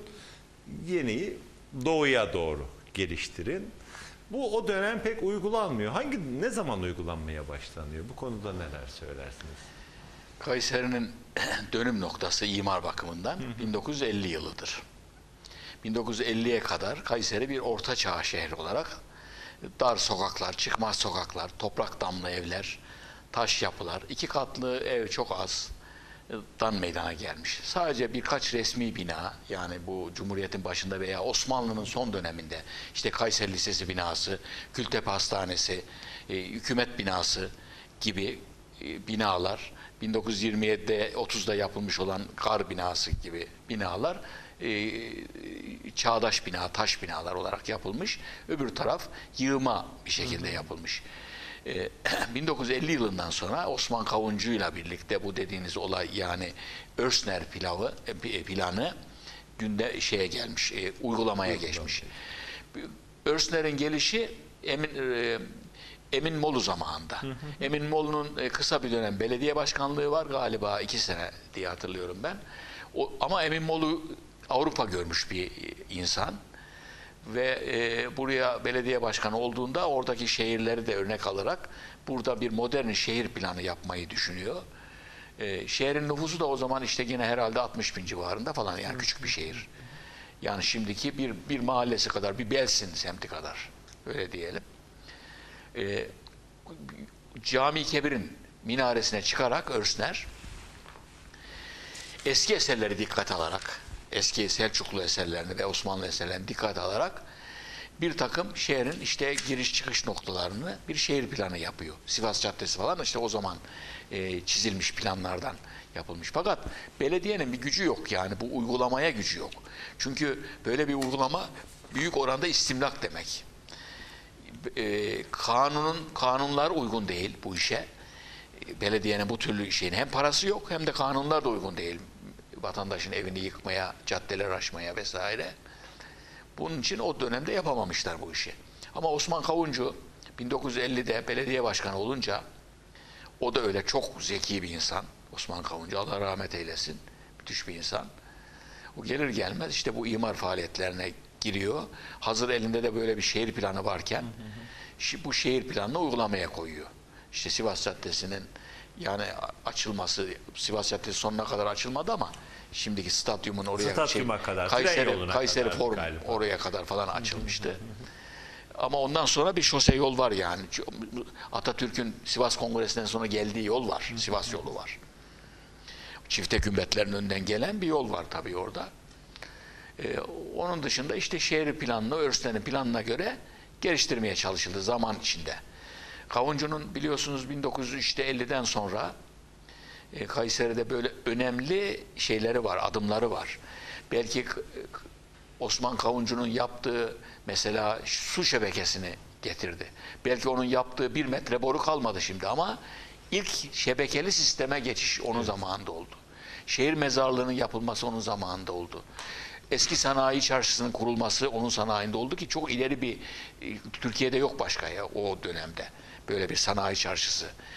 Ve kurulduğunda o sanayi çarşısı birçok esnaf da gitmek istemedi şehrin dışında Sonra bir yer falan diye gitmek Bedava istemedi otobüsler tayin et. falan ederekten gitti. Öyle bir şey edildi. Şimdi Osman- de yıkılmaya çalışılıyor. Daha değişik güzel şeyler yapılsın istiyor. Yine karşı çıkılıyor sanayi esnafı. yapalım dediler de o plandan vazgeçtiler herhalde. Yani Sayın Haseki'nin programıydı o. Şimdi Şehircilik Bakanı oldu. İnşallah yapar o öyle bir şeyi. Şey, öyle bir şey. son toplu, topluyordu Sayın Evet. Başkan e, sanayide dükkan olan esnafları en sonunda verdiği kadar size rağmen yapmayız. Siz ne Ha öyle. Vazgeçmiş görünüyorlar. Öyle anlaşılıyor. Şimdi bir de devam edecek miyiz? E, Bu Osman Kavuncu'yla devam edelim de bir, bir not daha e, düşmek istiyorum ben bu program vasıtasıyla. 304. sayfada bir Mustafa Nisari'nin e, Mustafa Nisari'den bahsediyorsunuz hocam. Ben Mustafa Nisari hakkında da kısaca bir paylaşmak istediğim şeyler. Şimdi Osman. Kavuncu'yla Osman Devam. Kavuncu'yla ilgili yani oraya şey etmişken bir daha dönmeyelim diye. Dönmeyelim, tamam. Osman Kavuncu'nun mesela e, milletvekili olur 57'de milletvekili oldu Evet. biliyorsunuz. 60'da da 60 darbesiyle de e, milletvekilliği sona erdi. Epeyce hapis yattılar falan Demokrat Parti'nin e, akıbetini paylaştı. O 50 e, milletvekili olmadan önce şimdiki Enver Durmaz İşhanı'nın yerinde İşhanı belediye işhanlığı yaptırtıyor. Havuzlan var yanında. Orada da belediye işhanlığı yaptırtıyor. Belediyeye gelir olsun diye. Belediyenin imkanları çok dar o zaman. Çok az miktarda personeli var, çok az miktarda iş makinesi var ve çok az miktarda gelirleri var belediyenin. Bu imkansızlıklar içinde oraya böyle bir işhanlı yapıyor. O kiraya vermede de sıkıntı yaşanılıyor. Orada da Osman Kavuncu dehası olaya müdahale ediyor İşte galiba. bunu o şimdi tam o sırada bu bina bitmiş. Bittiği sırada Osman Kavuncu milletvekili oluyor. Yani 56 57 57'de milletvekili oldu biliyorsunuz. O şimdi milletvekili olunca Şahap Bey, Şah- Şahap Sicimoğlu ondan sonraki belediye başkanı. Belediye başkanı zor duruma düşüyor. Bir sürü para harcanmış. Belediyenin paraları gitmiş ama millet gelmiyor oraya. Kiracı ol, kiraya da veremiyorlar dükkanları. Değerlendiremiyorlar. Osman Kavuncu buraya bir geldiğinde Şahap Sicimoğlu ona sitem ediyor. Ee, Sayın Başkanım diyor böyle böyle bir şey yaptınız değerlendiremiyoruz deyince ben yarın orayı doldururum diyor Osman Kavuncu. Bir formül hazır. Hemen kafasında bir formül hazır. Çok pratik bir insan. Çok pratik düşünen bir insan. Hemen ertesi gün belediyenin bütün fen memurlarını, memurlarını falan e, kazancılar çarşısına çağırıyor. Ve memurlar çarşının enini boyunu ölçmeye başlıyorlar. Metreler ellerinde falan. Esnaf kapının önüne çıkıyor ne oluyor falan diye. Herhalde burada bir imar hareketi falan gibi bir şey söylüyorlar. Bu kadar bir cümle söylüyorlar. Fazla bir şey söylemiyorlar. Bunun üzerine telaşlanan mem- şeyler, oradaki e, esnaf, dükkanlarımız yıkılacak herhalde, işimizi devam ettirebilmeliyiz diye hemen belediye iş anından yer kiralama gayretine düşüyorlar. Böylece çok kısa bir zamanda belediye iş anındaki bütün dükkanlar kiralanıyor. Belediyede gelirlere kavuşuyor. Bir Osman. de şey anlatırlar Halit abi. Düven önünde galiba eskiden bu el arabalarında gazoz satılırmış. Gazoz, Evet. e, bu Kranardı gazozu mu? O, neydir o dönemde Kranardı satılan Kranardı gazozu mu? El arabasında bir vatandaş düven önü meydanının orada gazoz satarmış ve o zamanlarda ben hatırlamıyorum ama siz muhtemelen hatırlarsınız. Bu bışkılarla o gazoz kapakları açılırmış böyle. Onu nasıl yaparlardı onu Şimdi paylaşır mısınız? ben sattım gazoz. o zaman orta mahallede yani orta mahalle neresi? Şimdiki e, E, Şifahiye Gıyasiye Medresesi'nin yanı. Zaten orta mahalledeydi Şifahiye Gıyasiye Medresesi. Orada bir meydanı vardı orta mahallenin. Ee, eski Kayseri'de böyle her mahallede küçük meydanlar vardı. Osmanlı tarzı şehircilik anlayışına göre. Orada toplanma yerleri, mahallenin yaşlıları toplanır, gençler orada oynar vesaire öyle bir meydandı. Orta mahalle ve bir çeşmesi de vardı. Her meydanda da olurdu öyle. O meydanda Granardı gazozları diye bir gazoz fabrikası vardı. O zaman öyle denirdi. İmalathanesi vardı. Orada Granardı. Granardı Granardı meydanına bakıyordu orada. Ee, O zaman Kayseri'de soğutma, buz işi yoktu. Kayseri'de şeyden Erciyes'ten e, at sırtında telislere konarak iki tarafından sular akarak veya bazen kamyonlarla kar getirilirdi.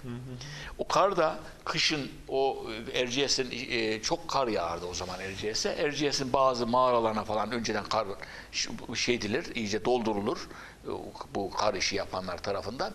Yazında o karlar kesilir, getirilirdi. Daha çok ben şeyi hatırlıyorum. Yani bu Keçikapı'da ve bu Çukur Kitabevi vardı meydana bakan yerde. Yani şimdiki Bülüngüz Camisi'nin ön tarafında. Ee, orada orada bu testereyle keserek karı satarlardı. Kar da bu gazoz satanların işine yarar tabii. Soğutmanın tek Peki yolu. gazozun kapağını neyle açardınız? İşte Açacak testereyle. Var mıydı o zaman? Bu gazoz gazozlar alınır. Testereyle üstüne testereyle Böyle kapağı kapağı vurunca yukarı doğru vurunca o böyle po- patlayarak açılır. İçi gaz- şey dolu gazlı olduğu için. Öyle şeyle. Ben sattım gazoz. Sonra e, işte bir, bir hafta uğraştık. Nasıl sattınız? Nasıl derdiniz? Bir Buz gibi gazoz mısınız? işte Kranar onu nasıl o nasıl anons ederdiniz? Lütfen o anonsu yapar mısınız? Nasıl satardınız? dişlerine keman çaldırıyor falan gibi öyle bir ifade kullanıyorduk herhalde. Şey vardı. Kranardı bizim, bizim. Talas'a da Buz gibi böyle gazoz. bir buz satan bir amca gelirdi benim çocukluğumda. Karlı buz, karlı buz diye dolanırdı eşeğin iki kenarında tahtaların arasına karlar. Onu o testereyle keser satar. e, ekmekle verir, e, keteyle verir, çeşitli şeyler. O yani 25 Değişik kuruş, şey. 15 kuruş, o 50 kuruşluk falan kesili alırdı. Sonra bu et balık kurumunun yanına buz fabrikası yapıldı. Ondan sonra o kar işinden ziyade o buzlar geldi. Onu da öyle parayla 25 kuruşluk, 50 kuruşluk buz satılırdı. Bu sıcak günlerde özellikle. Orada gazozları sattıktan sonra öyle sattık. Bisikletin arkasına koydum gazoz kasaları.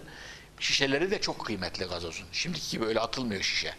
O şişeler iade gidiyor, edilecek, tekrar dolacak, Çok da değerli. gelecek. Biz oraya götürürken bisikletten düştüm ben. Şişelerden 6-7 tanesi kırıldı. Ve bizim bir haftada sattığım gazozun parası Kar karı gitti. gitti. Şimdi ben duymuştum büyüklerimden e, düğün önünde bir vatandaşımız o dönemde Osman Kavucu döneminde gazoz satıyor ve testereyle böyle vuruyor kapağı kapak etrafa saçılıyor. Etrafta da şikayetler geliyor. Ya arkadaş şu gazoz kapaklarını topla falan diye. Bir formül bulamıyorlar. Biraz da aksi galiba o satıcı ki. Rahmetli Osman Kavuncu varıyor o gazoz satan arkadaşın yanına. Diyor ki bu gazoz kapaklarını atma da diyor ben senden satın alayım tanesini şu kadar kuruşa. O o o buluş çok önemli abi. Evet. Ya kızabilir de ben belediye başkanıyım niye atıyorsun de. Kendi kızmaz zabıtasını gönderir kızdır. Ama mesele o değil. O güzellikle halletmek. Bu gazoz kapaklarını topla da ben sana fiyatı şu kuruştan satın alayım. Evet. O çok önemli diye düşünüyorum. Yani Hep bu- bütün Osman Kavuncu Dendi'de de bağışlayın. Ben çok duygulanıyorum. Hak rahmet etsin. En çok rahmet okunan belediye başkanı. Efsane belediye başkanı. Efsane belediye başkanı. Yani gerçekten. Bir de sinek hikayesi var. O efsaneden Evet. sonra onu da o bu sinek bir kara sinek onu siz lütfen paylaşın. Ona nasıl bir çare buluyor? Şimdi o dönemde Kayseri 1950'li yıllara kadar eski mahalleler var ve hayvancılık var. Sucuk pastırma her evde yapılıyor hemen hemen. Pastırma evde yapılırdı. Çok da güzel, lezzetli olurdu. Güneşte kurur falan. Şahane pastırmalar olurdu. Ee, ve e, dolayısıyla e, bu- hayvancılığın e, neticesi olarak hayvanların işte gübreleri vesaire so- sokaklarda vesairede çok miktarda olurdu. Do- çok da sinek olurdu bu sebeple. Kara sinek olurmuş. Hatta bu 1800'lü yılların sonlarında gelen şarkıyatçılar, müsteşrikler, Hamilton vesaire gibi birçok müsteşrik gelmiş Kayseri'ye. Bunlar hep gelenler ilk Kayseri'de gördükleri manzara pislik ve sinek. Kitapta da bahsediyorsunuz. Pislik ve sinek. evet. Çok şeyle. E, şebeke suyu yok. Dolayısıyla bu e, bir hayvancılık var. İşte buna bir pratik zeka olarak Osman Kavuncu sinek satın alıyor. Kilosu 30 liradan. O zaman 30 lira da iyi para. Ve millet müthiş bir şekilde sinek avlamaya başlıyor. Yani halkta da fakirlik var. Yani 30 lira onlar için de önemli bir şey. Ve kilo kilo sineğe getirip belediyeye teslim ediyorlar. Tartarak 30 liradan alıyorlar. Tabii bir takım hilesine de kaşanlar oluyor bu işin. Sineğin, Sineklerin içine tek tek tel, ince tel yerleştirenler oluyor. Ağır Ağır, ağır çeksin diye. Veya pekmeze batıranlar oluyor ağır çeksin diye. Fakat buna rağmen bu sinek çok miktarda sinek toplanıyor. Bu sinekleri hamam külhanlarında yaktırıyor. Toplanan sinekleri. O tarihten sonra Kayseri'de gerçekten sinek azaldı. Kayseri'de kara sinek pek azdır. O tarihten sonra iyice azaldı yani sinek. Sivrisinek zaten çok kadar az. Ee, öyle pratik bir zekanın bir iyi bir sonucu oldu diyelim. Evet. Hak rahmet eylesin. Allah rahmet eylesin. Evet. Osman Kavuncu müthiş bir insan. Evet. Evet değerli izleyenler programın başlangıcında arz etmiştim. Kitap da hediye edelim bu akşam. Ben yönetmen arkadaşımdan rica edeyim 235 16 16 mı yazacağız? Telefonumuzu yazalım ekrana. Evet değerli izleyenler. Bizim programımızda kitap hediye etme geleneğimiz var yıllardan beri. Ve bize göre de çok önemli eserler hediye edeceğiz bu akşam. 5 izleyicimize telefonla lütfedip bağlanan merhaba diyen 5 izleyicimize arzu ederse ce- e, 19. yüzyılda Talas Hüseyin Cömert hocamın hazırlamış olduğu bu çalışmayı hediye edebiliriz. Arzu ederlerse Cevdet Kutret'in Kayseri Lisesi'nin romanı diye arz ettiğimiz Havada Bulut Yok. Süleyman'ın Dünyası isimli kitap üçlemesinin ikinci kitabı. Bunu hediye edebiliriz değerli izleyenler. 235 16 16 değil mi yönet sevgili yönetmenim numaramız? Teşekkür ediyorum. Şimdi eh, 304 304. sayfada Mustafa Nisari'den bahsediyorsunuz Halit abi. İspirto mu imal ediyorlar Kayseri'de? Kayseri'de yani evet böyle bir imalathane kurmuş, ispirto imal etmiş. Yani bu Kayseri'de böyle bir ilkler var. bu isporto, iş- ispirto imalatı e, düven önünde bir yerde imal etmeye başlamış. Bir şey bölümünde bir kimya gelmiş herhalde kendisi. Ben o Mustafa Nisari hakkında kısa bir bilgi arz Öyle etmek biliyorsanız istiyorum. ben, ben de bilgi bu kadar. Mustafa Nisari İhsan Kutret'in, Cevdet Kutret'in eşi İhsan Kutret'in babası. Aa, evet. Evet, Mustafa Nisari, İhsan Kutret'in babası. İhsan Kutret anılarında internette galiba okumuştum. Ortayla bazı, babam ortayla bazı sıkıntılar yaşadı, ekonomik sıkıntıya girdi diye bir sıkıntılar da yaşamışlar. Bir bilgi daha paylaşayım. Mustafa Nisari Yine İhsan Kutret anlatıyor, Talas'ı anlatıyor. Yukarı mahallede, Talas yukarı mahallede evler çok görkemliydi. Hele sayılar 3'ü 5'e geç, 3'ü 5'i geçmeyen kubbeli evler. Bu evler sahipleri gidince emlak-ı matruka olarak Türklere satılmış. Kubbelilerden biri de ünlü Gülbekyan ailesinin yukarıda Talas yukarıda Gülbekyan Köşkü var oradan bahsediyor. Kubbelilerden biri de ünlü Gülbekyan ailesinin onu da babam almış. Babası Mustafa Nisari Gülbekyanlardan yukarı Talas'ın yukarıdaki Gülbekyan Köşkü'nü Gülbekyanlardan Mustafa Nisari satın almış. Mustafa Nisari de biraz önce bahsettiğimiz o ispirto imal eden de İhsan Kutret'in babası Evet. Said Azmi Bey'den de Ferizoğlu'nun babası Said Azmi Bey'den de İhsan Kutret dayım diye bahsediyor. Onu da belirtmiş olayım. Evet telefonumuz mu var? Alo, Alo, iyi akşamlar. iyi akşamlar. Sizi tanıyalım mı efendim? Yılmaz Ceviz. Yılmaz Ceviz. Yılmaz Bey biraz kendinizden bahsetmek ister misiniz? Ee, ben Kayserliyim. Evet. Felahiye Silahtar Köyü'ndenim. İşçi emeklisiyim. Bu kitap kampanyanızdan faydalanmak istiyorum. Peki Yılmaz Bey bir şey sorabilir miyim? E, ne Tabii, kadar buyurun. zamandan beri e, saat olarak bizim program izliyorsunuz? Aşağı yukarı e, müsait olduğum zamanlar açıyorum. He. Şimdi bu akşam efendim Bu akşam şöyle yarım saattir filan. yarım saattir izliyorsunuz. Teşekkür ediyorum Yılmaz Bey. Şimdi arzu ederseniz e, Cevdet Kutret'in Kayseri Lisesi'nin romanı diye arz etmiş olduğu Kayseri arada- Lisesi'nin romanını gönder ben oradan mezunum.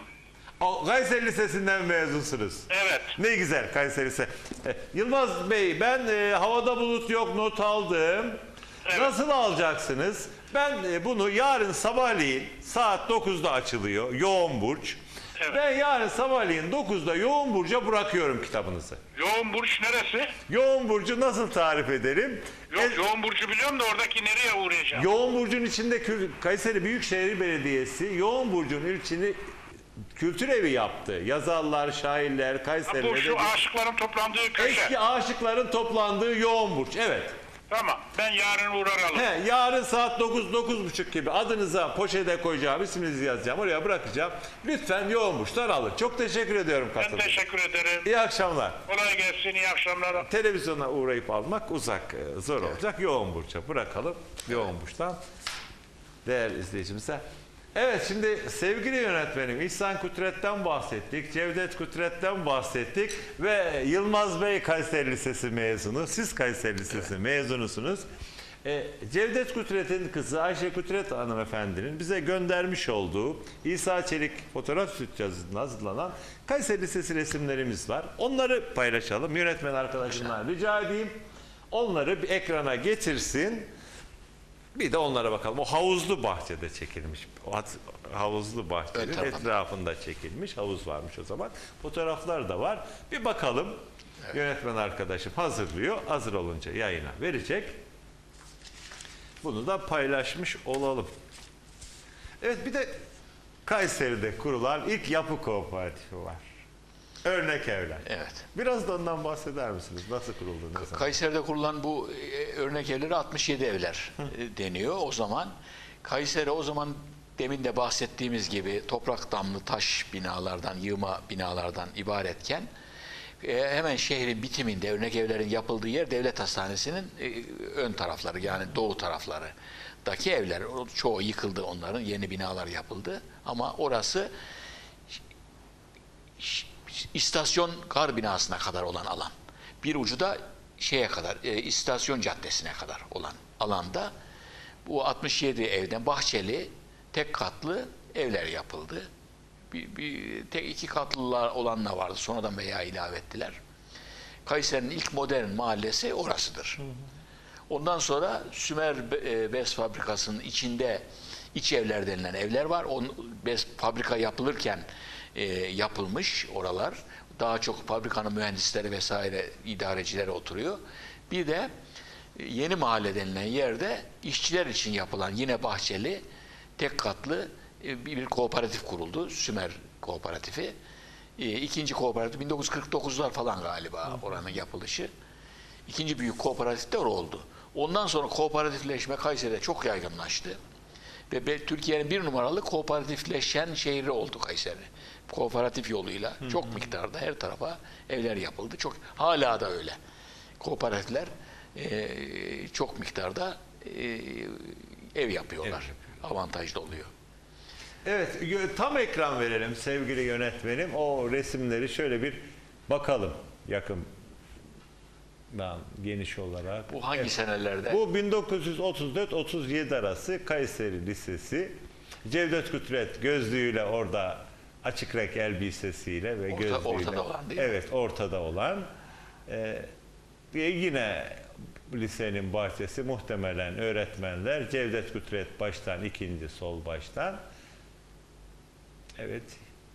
Yine Vura lisenin bahçesi. Bu başka kırda sağdaki yine gözlüklü Cevdet Kutret değil. De lisenin bahçesinde havuzların havuzun kenarında fotoğraflar var. Evet. Bu Deve Kayseri Lisesi değil. Develi miydi? Bünyan mıydı? Develidir. Develi midir? Develi, Develi, galiba. He, yanlış hatırlamıyorsam. Yine ortada Cevdet Kutret.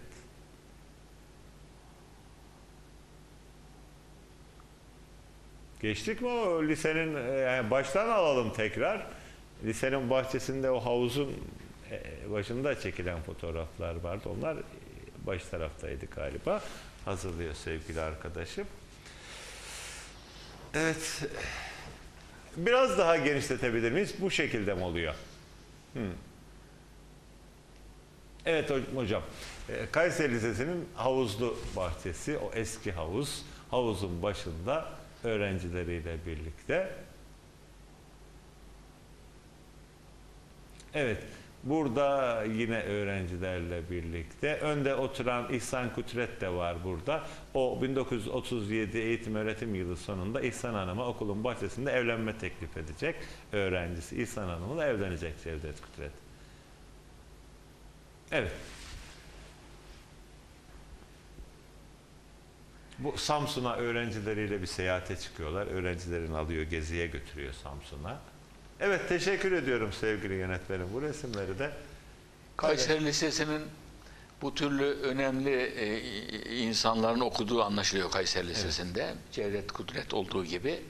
Faruk Nafiz Camlıbel'de burada edebiyat öğretmenliği yaptı. İşte e, şeyi e, han duvarlarını buraya gelirken arabayla gelirken yazdı Faruk Nafiz burada. E, yani Şeyden, 19- Niğde 19 Ulukışla'dan bu Evet. buraya gelir. Arabayla Tren oraya kadar geliyor, Geliyor. Ulukışla'ya kadar geliyor. O dönemde ondan sonra tahta arabalarla Kayseri'ye kadar Kayseri'ye geliniyor. kadar geliyor. O yolculuk değil mi? O yol, o Orhan yolcu. Duvar. 1927 gelişi şeyin e, Faruk Nafiz'in. Aynı yıllarda Faruk 1927'de 22 27. peki. Aynı yıllarda yine 1927'li yıllarda Gabriel'in de Kayseri'ye gelişi var. Albert Gabriel. Bu e, Albert Gabriel e, çok önemli Kayseri e, Türk Anıtları diye bir kitabı var. Belediye basmıştı. Daha sonra da bir tekrar basıldı.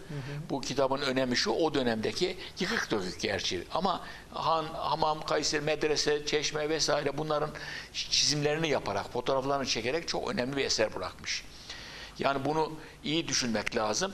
Şimdi şöyle bir şey yani bunun yaptığı iş. e, Kendisi Müslüman değil. Kayseri o zaman küçük bir şehir. 1927'de işte ne kadarca 40-50 bin nüfuslu yıkık dökük bir şehir. Yolu izi belli olmayan kirli bir şehir. Eski yani Osmanlı şehri. Öyle. Buraya geliyor ve burada bunların fotoğraflarını çekerek e, çizimlerini yaparak bir eser bırakarak gidiyor. Kayseri Türk Anıtları diye bir eser bırakıyor. Bu şuna benziyor. 1927'de bir Müslüman gidecek mesela Fransa'ya. Gidip Fransa'nın küçük bir şehrinde, Marsilya'da bir yerde kiliselerin, yıkık dökük kiliselerin fotoğrafını çekecek, çizimlerini yapacak, bir de kitap yazacak, oraya bırakacak. Buna benzer bir olay bu. Çok önemli bir olay. Gabriel'in yaptığı iş. Yine e, rahmetli Turgut Özal Kayseri Lisesi mezunu biliyorsunuz. Kayseri Lisesi'nde okumuş. Ee, babası herhalde memuriyeti burada olduğu için Kayseri'de bulunmuş Turgut Özal. Daha sonra da Kayseri e, Sümer Bez Fabrikası'nda da staj yapıyor elektrik mühendisi olarak. Buraya geliyor, staj yapıyor. Hatta o zamanki staj belgesinde de e, yani dikkatini çekmiş fabrika müdürünün herhalde. Nafi bir elemandır diye not yazmış. Faydalı bir elemandır diye. Nafi faydalı Fay- demek. faydalı faydalı. anlamında bir öyle de bir not yazmış o zamanki fabrika müdürü. Demek ki o zaman da bundaki ondaki zekayı görmüş. Turgut Özal'daki. Ee, Kayseri Lisesi'nin e, böyle bir önemi var. Böyle önemli e, şeyleri yetiştirdiği için. Daha sonra işte e, Kayseri Lisesi'nin Abdullah Gül de Kayseri Lisesi mezunu biliyorsunuz. E, Ve lise şimdi iyi bir fonksiyona kavuştu milli mücadele müzesi haline geldi. Demin bahsetmiştik programın başında. Yani buranın muhakkak gezilmesi lazım. Peki isterseniz biraz da Talas'a doğru uzanalım. Nasıl uzanalım? 1974 tarihine gidelim. Kayseri'de ilk televizyon yayını diyelim. Nerede nasıl başladı? Onu da siz paylaşır mısınız? O tarihte televizyonu hayal bile edemezdik. Kayseri'de paket yayın olarak başladı. Günde 4 saat falan yayın yapıyordu. Ve o herkesin de evinde televizyon yok. Televizyon olan evlerin misafirleri, bütün akrabalar vesaire başına toplanır. O zaman e, Kaçak diye bir dizi çok şey Doktor ilgiyle Richard takip Doktor Kimball. Doktor Kimball. Çok ilgiyle böyle takip ediliyordu. E, bu e, Talas'ta bir e, o kolejin orada bir Amerikan Koleji'nden Kolejin mi? içinde oradan yayına başladı. İlk spikeri Tuna Huş'tu. Yani haberleri canlı veriyordu ama diğer taraflarını işte e, Doktor Kimball gibi falan gibi paket yayın yapıyordu. Tuna Huş burada bir müddet spikerlik yaptıktan sonra Arif Koca geldi. Arif Koca o spiker olarak Arif Koca da Kayseri'de okumuş. E, Benim de sınıf arkadaşım olur Arif Koca. Lisede mi ortaokulda mı? Ortaokulda. Ortaokul. Ortaokulda sınıf arkadaşım olurdu. Ee, Arif de burada 2-3 sene kadar spikerlik yaptı. Bu arada da benim muayenehanemin hemen üstüne de bürolarını taşıdılar. Kayseri televizyonu bürosunu oraya taşıdı. Dolayısıyla çok içli dışlı olduk. Onlarla her dakika görüş, görünüyorduk. Bir de Necati Bey vardı televizyonun müdürü. Bir ara ben çocuklarla, benim çocuklar da küçük Ali Bey. Talas'ta onlara gezdirmeye götürdüm televizyon yayın evini. Bizim çocuk da oradan kablolardan birini çekince yayın tık Eyvah. diye kesildi. Zaten ilkel güç şartlarda yapılan Çok müthiş şey. telaşlandılar yayının kesilmesi. Çünkü kesildiği anda devreye de sokulamıyor hemen. Onun bir soğuması müddeti varmış bir müddet 10-15 dakika falan. Böyle de bir kazaya sebep olmuştuk. Evet. Sizin evinizde o geldiği dönemde televizyon var mı? Televizyon vardı benim. E, Komşular gelirler. Komşular da gelirlerdi ve biz de ilgi yani akşamı iple çekerdik ki televizyonu o 3-4 saatlik müddet içinde seyredeceğiz diye. Şimdi Renksiz televizyon tabii. siyah beyaz tabii. Şu arkası koca uzun bir televizyon. Ağır yerinden kalkmaz. Öyle bir televizyon. Konu Talas'a ve Amerikan Koleji'ne gelmişken sizden bir konuda daha görüşünüzü, kitabınızla ilgili değil ama bir konuda daha görüşünüzü istirham edeceğim. Şimdi Talas Amerikan Koleji'nin arşivleri Amerika'da bir üniversitedeymiş. Bunu da e, eski üniversite rektörlerimizden Mehmet Şahin hocam gitmiş orada bir miktar araştırmış. Geldikten sonraki düşüncesi şu. Bir kişinin gidip orada bu arşivleri denleştirmesi için 10 yıl çalışması gerekiyormuş. Doğru söylüyor. Ama Talas'ın 100 yıllık tarihine ışık tutan belgeler var orada. Şimdi ben e, bu konuyu okurken bir şey dikkatimi için. Mete Akyol gazeteci. 1951 yılında Talas Amerikan Koleji'ne öğrenci olarak gelmiş. Mete Akyol 1951. Ve diyor bir dergi çıkartırdık diyor. Tek sayfa Talas isminde tekstille çoğaltılan bir dergi çıkartırdık diyor Mete Akyol. Ben merak ediyorum o dergide neler yazıyordu. Çok. Daha sonra burada ortaokul kısmını burada tamamlıyor. Liseyi okumaya Mete Akyol e, Tarsus'a gidiyor. Şimdi bu arşivin e, gün yüzüne çıkartılması, değerlendirilmesi hakkında neler söylersin? Mehmet Bey bana da bahsetti onu. E, ha- hatta e, müsiyatta da bir konferans verdi o şeyle ilgili, o kütüphaneyle ilgili, ilgili. o kütüphanede nasıl çalışma yapıldığı, kaç tane kitap olduğu gerçekten çok enteresan, güzel değerlendirmeleri var Mehmet Şahin Bey'in. Ee, orada da önemli bir yayınlanmamış bir hatıratı şu anda çalışıyor Mehmet Bey. Yani bu Talas ta- kolej tarihine, Talas tarihine, Kayseri'ye falan ışık tutacak bir eserin tercümesiyle meşgul. Çok da titiz bir e, çalışmacı, ilim adamı Mehmet Bey. Herhalde çok güzel bir eser çıkacak muhakkak o çıktığı zaman. Ben de merakla bekliyorum onu. Allah kolaylık Evet, versin. çalışıyor. Yani oranın kazandırılması gerekir mi? O emeğe Yani- değer mi sizin yorumunuz? Yani şimdi bizim tarihimizi Ali Bey yani bu türlü çalışmaları saha çalışmasını yapan tarihçiler yok. Yani orada bunu çalışabilir. Mesela Türk tarihiyle ilgili Çin kaynaklarına gitmek lazım. Evet. Bizim Belgeler Orta Asya'da orada. belgeler orada. Böyle bir çalışan kimse yok. Yani bunları bunları ihmal ediyoruz biz. Millet olmanın gereği bu tarihleri öğrenmemiz bizim. Şimdi bu şeyle ilgili e, Talas Amerikan Koleji ile ilgili biliyorsunuz Cizvit e, e, Koleji, Cizvit tarikatını yaymak üzere kurulmuş bir kolej. E, bunun yükseği de Tarsus'ta. Tarsus, Burada Amerikan Koleji ilkokuldan sonra öğrenci alıyordu burası ve Amerikalıydı müdürleri ve öğretmenlerinin çoğu burada. O zamana göre iyi imkanlarda eğitim veriyordu. Bu oraya gidenler ondan sonra da Tarsus'a gidiyorlar. Daha sonra da İstanbul'da Boğaz içindeki şeye gidiyorlardı. Yükseğe de oraydı. Ee, Dolayısıyla iyi bir eğitim görüyorlardı. Çok talep vardı oraya. Bu yanında da hastane falan da vardı. Bir Amerikan hastanesi falan da var. Orada e, hastane önce bu e, şey e, 1900 zannediyorum 40'lı yıllarda falan. Buraya Zincirdere'de bir assubay okulu var.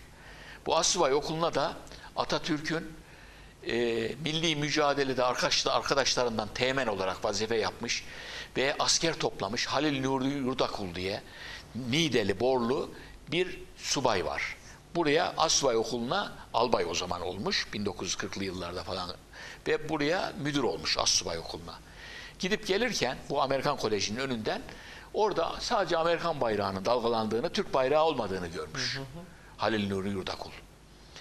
Ve koleje uğramış Amerikalı müdüre bayraklar kanununa göre Türk bayrağının da yanında olması gerekir. Niye asmıyorsunuz diye sormuş. O da işte yaptırıyoruz, direkt yapacağız da falan da filan diye geçiştirmiş. Bir müddet sonra, bir ay sonra, iki ay sonra bir kere daha ikaz etmiş. Buraya bir virgül rica edeyim. Bir izleyicimiz var. Telefonda bekletmeyeyim. Alo, iyi akşamlar efendim. Alo, Alo, iyi akşamlar. iyi akşamlar efendim. Sizi tanıyabilir miyiz? Tabii efendim. Ee, ben e, Kayseri Lisesi mezunuyum. Şu anda Talas'ta yazlık evimde oturuyorum. Programı izlediğim yere sizin e, hediye ettiğinizi duydum Evet. ve bağlandım. Evet, isminizi rica edebilir miyim? İsmim Nurcan Erdem. Nurcan Erdem. Evet, Nurcan Erdem. Evet Nurcan Hanım. Talas mı havada bulut yok mu? Talas'ı rica etsem. Siz Talaslı mısınız? Evet, ben Talaslıyım efendim. Hangi mahallede oturuyorsunuz? Talas Keçiköy Mahallesi. Küçükköy. Şimdi Osmanlı Sokağı oldu. Osmanlı Sokağı, evet. Evet Nurcan Hanım. Nurcan Meydanda. Hanım aynı bizim Osmanlı Sokağı'nda hemşerimiz, mahalle arkadaşımız. Ben şey yapayım mı? İki kitap hediye edeyim mi Nurcan Hanım'a? Nurcan Hanım Efendim, kabul buyurursanız Cevdet Kutret Havada Bulut Yok 19. yüzyılda Talas. İkisini çok birlikte. teşekkür ediyorum efendim. İkisini birlikte takdim Ali ediyorum. Bey ben nereden alacağım kitapları? İki kitap nereden alacaksınız? Aynen. Yoğun Burç'tan alır mısınız? Tabii. Yoğun burçtan alabilirsiniz. Yarın sabahleyin 9'da ben Tabii. yoğun burca bırakacağım. İstediğiniz bir iki gün sonra olur, üç gün sonra olur. Yolunuz düştüğü zaman, istediğiniz bir zaman yoğun burcu uğrayıp adınızı yazacağım oradan alırsınız. Olur mu efendim? Çok teşekkür ediyorum Ali Bey. Çok çok teşekkür ediyorum. Talas'tan Osmanlı akşamlar Mahallesi'nden diliyorum. hemşerilerimiz aradı. Biz de mutlu olduk. Gurur duyduk. Çok çok Biraz teşekkür önce verdiğiniz e, beyefendiye bir adres vermiştiniz. Yoğun burç aynı. Yoğun Eski, Burcu'nun eski Talas durağında eskiden aşıklar otururdu. Evet, Yoğun evet, Şimdi orasını Büyükşehir Belediye'miz kültür mekanı yaptı. Değerli şairlerimiz, yazarlarımız akşama kadar oradalar. Oraya bırakacağım.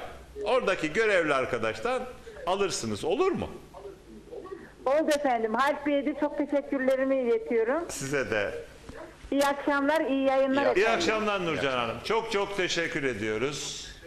Biz Lüt- teşekkür ediyoruz efendim. Lütfettiniz, programımızı izlediniz. Programımıza katıldınız. Teşekkürler.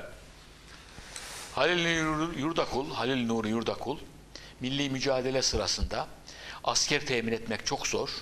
Bir e, mehter takımı kuruyor, asker, e, bando takımı kuruyor ve daha çok Ege'deki köylerde ve kasabalarda bu mehteri çaldırmak suretiyle milli heyecanı alevliyor, e, canlandırıyor ve çok miktarda asker topluyor milli mücadeleye. E, Orta Anadolu'dan, Ankara civarından ve şeye kadar, Ege civarına kadar ve e, Mustafa Kemal Paşa'nın da çok itibar ettiği, sevdiği bir subay. Daha sonra albay olunca da 1940'lı yıllarda falan herhalde buraya Assubay Okulu'ndan müdür olduğunda da bu Amerikan Koleji'deki bayrağa müdahale ediyor. İki defa yaptıktan sonra yine bayrağın asılmadığını görünce bir gün bütün Assubay Okulu'nun talebelerine toplar, oraya getirir, önünde marşlar söyleyerek gelirler, Amerikan bayrağını indirirler ve oraya Türk bayrağı çekerler. Ne güzel eller. Bayrak direğe de yapacaksan yaptığın direğe kendi bayrağını çek der. Bu surette oraya müdahale etmiş. Bunu bana oğlu anlattı. Oğluyla ben ev arkadaşıydım üniversitede okurken. Babasının bu hikayesini anlattı. Ee, Böyle de önemli bir olay olmuş. Teşekkür ediyorum. Merve. Bir izleyicimiz daha varlar telefonda. Bekletmeyelim. Efendim merhaba. Alo, İyi akşamlar. iyi akşamlar Ali Bey, selamun aleyküm. Aleyküm selam. Sizi tanıyabilir miyiz? Beni gayet iyi tanırsınız. Lider Çelik Kapı'da çalıştım bir müddet karşılıklı. Yusuf Gümüştel.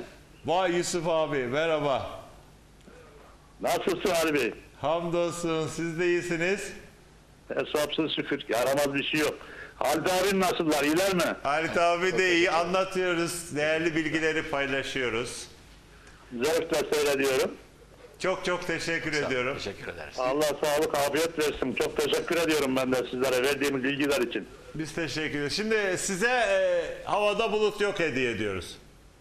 Tamam Ali Bey. Ne layık görürseniz fark etmez. Yoğun bu, bu Kayseri Lisesi'nin romanı. Talas'ı Talaslar e, hemşerilerimize hediye Tamam. edelim diye Tamam, düşündük. abi. Yoğun Burcu'ya bırakıyorum. Yoğun Burç'tan alırsınız. Tamam Ali Bey. Teşekkür ederim. Ben teşekkür ediyorum. Saygılar sunuyorum. Evet. Sesinizi duydum. Çok mutlu oldum. İyi gördüm sizlerde. Çok çok teşekkür ederiz.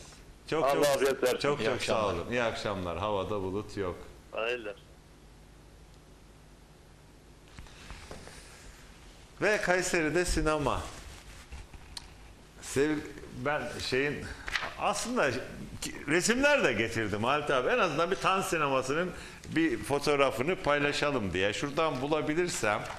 E, Evet elimde değerli izleyenler e, Koca Sinan Belediye'mizin Kültür Hizmetleri serisinde 5 numaralı eser fotoğraflarla Kayseri zamanında edinmişiz bundan. Teşekkür ediyoruz belediyemize. Bu güzel çalışma. Aslında bunlar çok güzel çalışmalar değil mi? Bir tarihe tanıklık eden. Sizle de daha önce görüştüğümüz eski fotoğrafları da konuşalım demiştiniz. Ama işte bundan hazırlık yapmak, bu fotoğraflardan e, önceden kayıt altına alıp onun üzerine konuşmak gerekiyor ama Tan sineması hakkında neler söylersiniz? Tan sinemasının geçmişi, siz gitmişsinizdir o sinemada Tabii, filmler tabii. izleme. Biraz tan sinemasını anlatır mısınız? Tan sineması tam Cumhuriyet Meydanı'nın e, doğu ucundaydı. Hükümet binasına hemen bitişikti. Bahçeleri de bitişikti. Tan sinemasının önünde de şehir kulübü ve bir şehir bahçesi vardı. e, park vardı orada. Onun da köşesinde e, bu Zümrütlerin, e, Zümrüt Pastanesi'nin işlettiği bir büfe vardı o zaman. Bir Şeyde, ve telefonumuz otobüs durağı daha var. var. Otobüs durağı vardı. Dördüncü izleyicimiz. Alo. Alo. Alo, Merhaba. merhabalar. Sizi tanıyabilir miyiz efendim? Suat Hastorun. Suat Hastorun. Hastorun. İyi Hastorun. akşamlar diliyorum. Halit kardeşime de iyi akşamlar diliyorum. Sizi tanıyalım. Biraz daha kendinizden bahsetmek ister misiniz Suat Bey? Efendim ben de Kayseri Lisesi mezunuyum. Oo ne güzel Kayseri liseliler. 19- Evet. 1960 mezunuyum. Makine mühendisiyim. Halit, Halit kardeşime de iyi akşamlar diliyorum. İyi akşamlar. Size de iyi akşamlar diliyorum. Sağ olun. Programınızı da keyifle seyrediyorum. Ben de biraz eski günlere gittim. Halit Bey anlattı. Ben de bir anımı anlatayım bu. Gazoz derken Halit Bey Buyurun lütfen. Katkılarınız çok güzel olur. Bizim gazoz için de yararlı olur. Buyurun. 32 dişine keman çaldırıyor derdik. Ya bak, bak Ben demin biraz önce Suat Bey, Halit abi iyi satamadık gazozu. Müşteri toplayamadık değil mi? Pek Biraz, sunum iyi değildi. biraz, biraz müşteri az olurdu. Ha, Satmak müşteri zordu az tabii. olur, iyi Kolay- kolay pazarlayamadık. değildi. Bak Suat Bey bize destek oldu. 32 dişinize keman çaldırıyor. Evet. E böyle de demez miydiniz? Suat Bey çok çok teşekkür Keman ederim. çaldırıyor veya kemane çaldırıyor. Öyle bağırılırdı. Evet. Bizim evimizde orta mahalledeydi. O gazoz imalathanesini de hatırlıyorum ben. Orta mahalleydik. Çok çok teşekkür ediyoruz Suat Bey. Ben teşekkür ediyorum. Katıldığınız için. Havada bulut yok değil mi? Evet.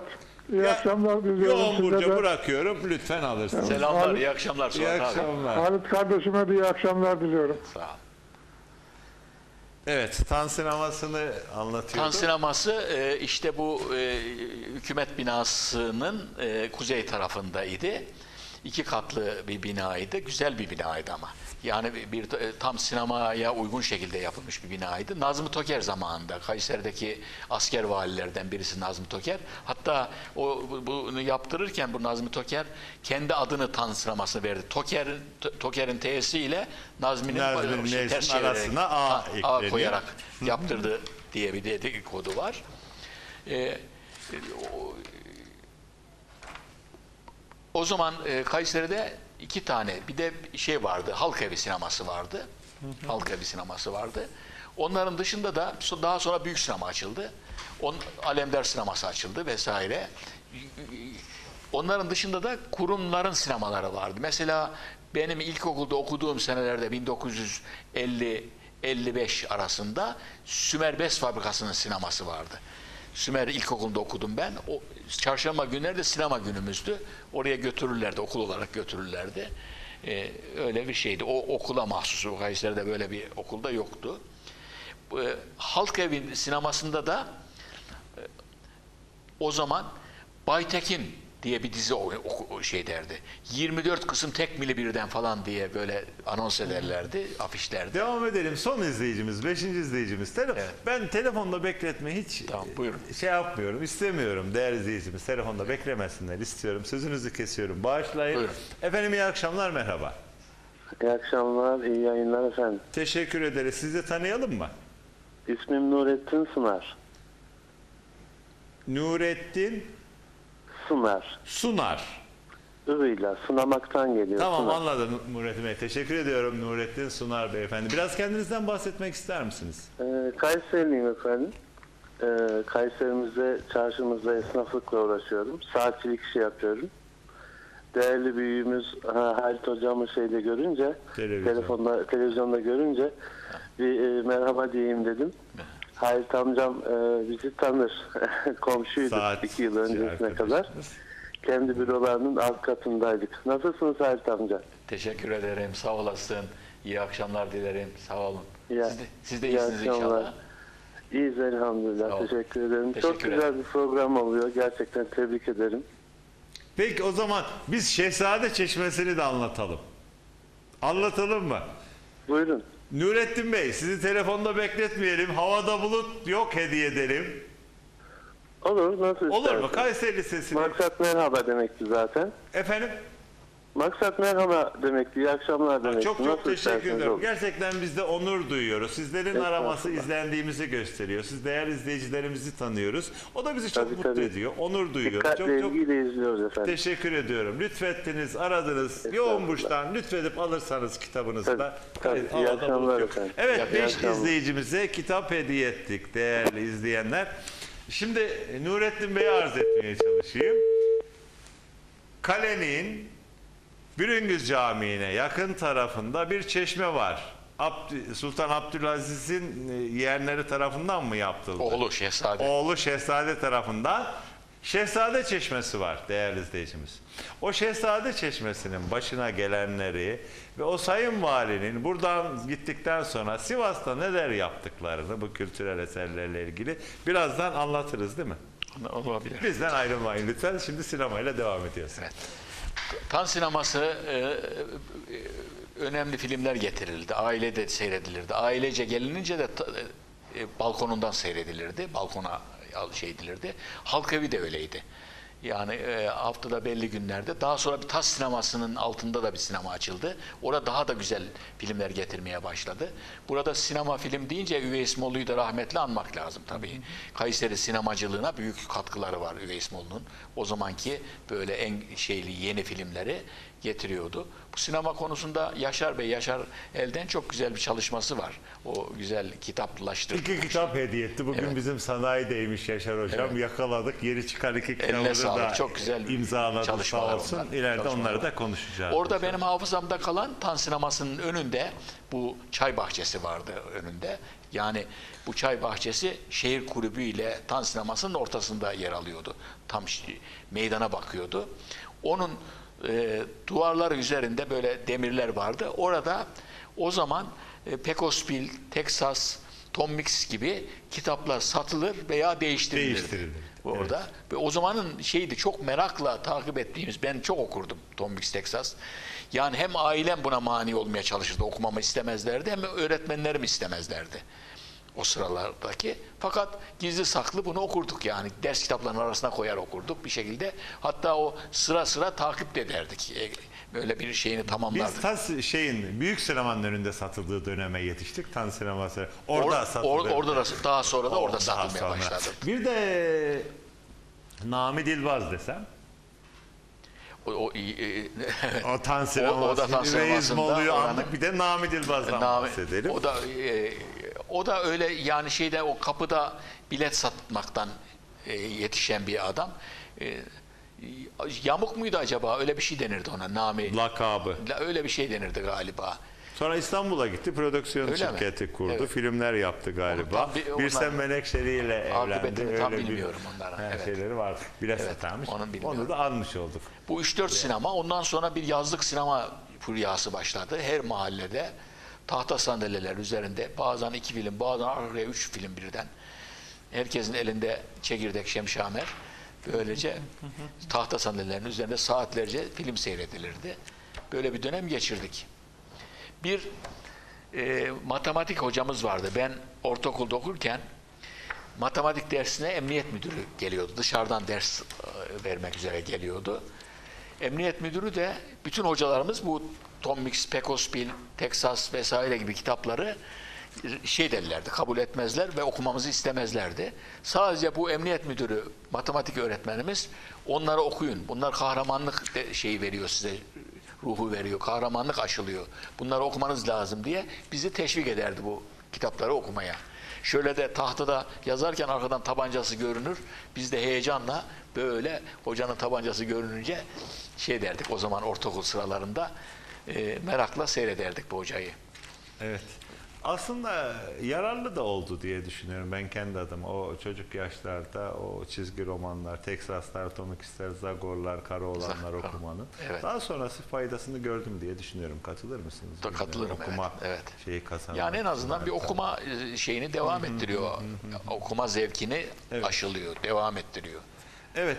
Yönetmen arkadaşım uyarıyor. Bir reklam arası vermemiz Peki, gerekiyor. Evet değerli izleyenler, biraz önce Nurettin Bey'e de arz etmiştim. Kay, şehrimiz Cumhuriyet Meydanı'ndaki Şehzade Çeşmesi'nin öyküsünü reklamların ardından dinlemeye ne dersiniz? Şimdi reklam. Evet değerli izleyenler, reklamların ardından yeniden birlikteyiz. Reklamlara giderken bir çeşmeden bahsetmiştik. Ben şöyle kameraya doğru şey yapayım. Evet.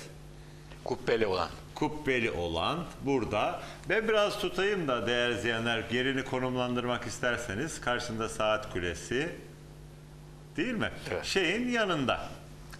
Kalenin surlarının yanında. O yandan şeye gidiyor. Pastırmacılara doğru giderken ki bölümde değil mi? Şehzade Çeşmesi. Şimdi orada tren hattı var veya e, kal- şey var, kaldırımlar var. Bir başka açıdan fotoğrafı daha vardı ama reklam arasında onu tespit edemedim. Evet değerli buradaki çeşmenin öyküsünü rica edeceğiz, dinleyeceğiz. Şimdi şöyle mi gösterme? Evet. Evet Şehzade Çeşmesi. İkinci Abdülha, Aa, pardon Abdülaziz Han'ın Abdülhamit'le karıştırmayalım.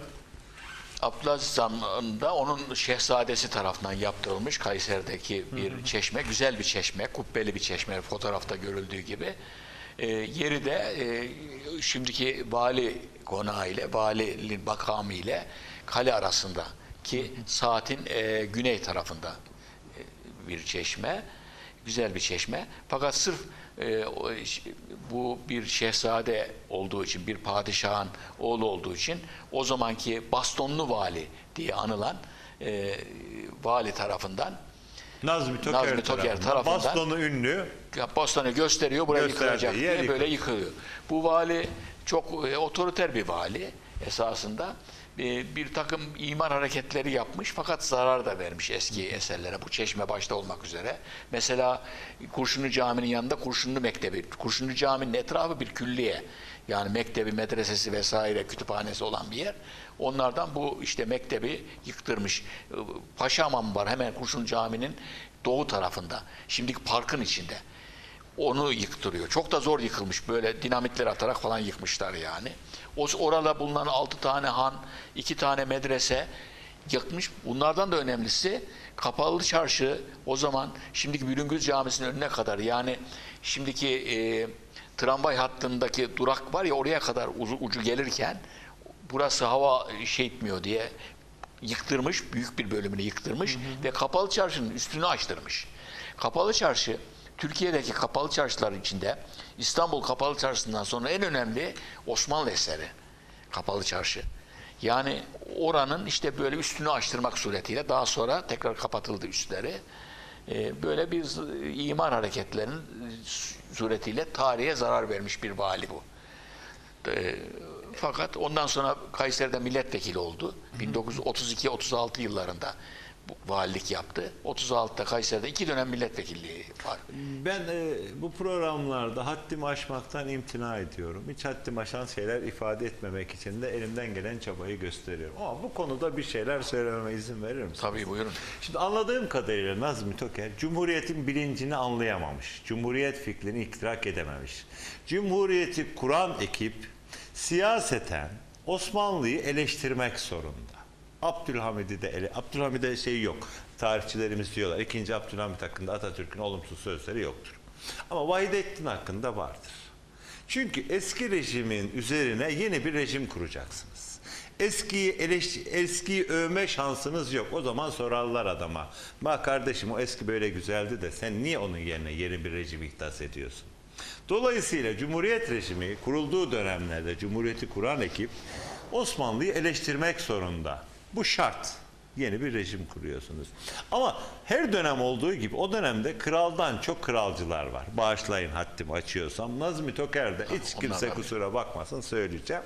Kraldan çok kralcılık yapan haddini aşanlardan biri. Evet. Evet. Mesele o değil. Osmanlı'nın adının bir şehzadenin adının bir çeşmede yaşatması Cumhuriyet hiçbir zarar vermez. Hiçbir zarar vermez. Şehzade Cevale. Sırf şehzade adını taşıyor diye o çeşmeyi yıktırıyor değerli izleyenler. Devamı var. Mehmet Çayırdar, Çayırdar ağabeyim anlatmıştı. Nazmi Toker 1937 yılında Sivas'a vali tayin ediliyor.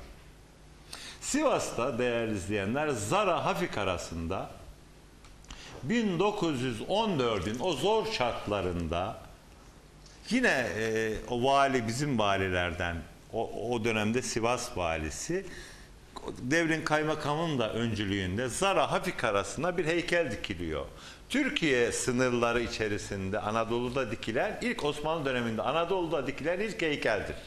Zara Hafik arasında 1900 Sivas'ın 1914 yılında Osman Bey'in başlıyorlar. Osman Bey'in 10 metrelik kayde üstüne bir büstünü yaptırıyorlar.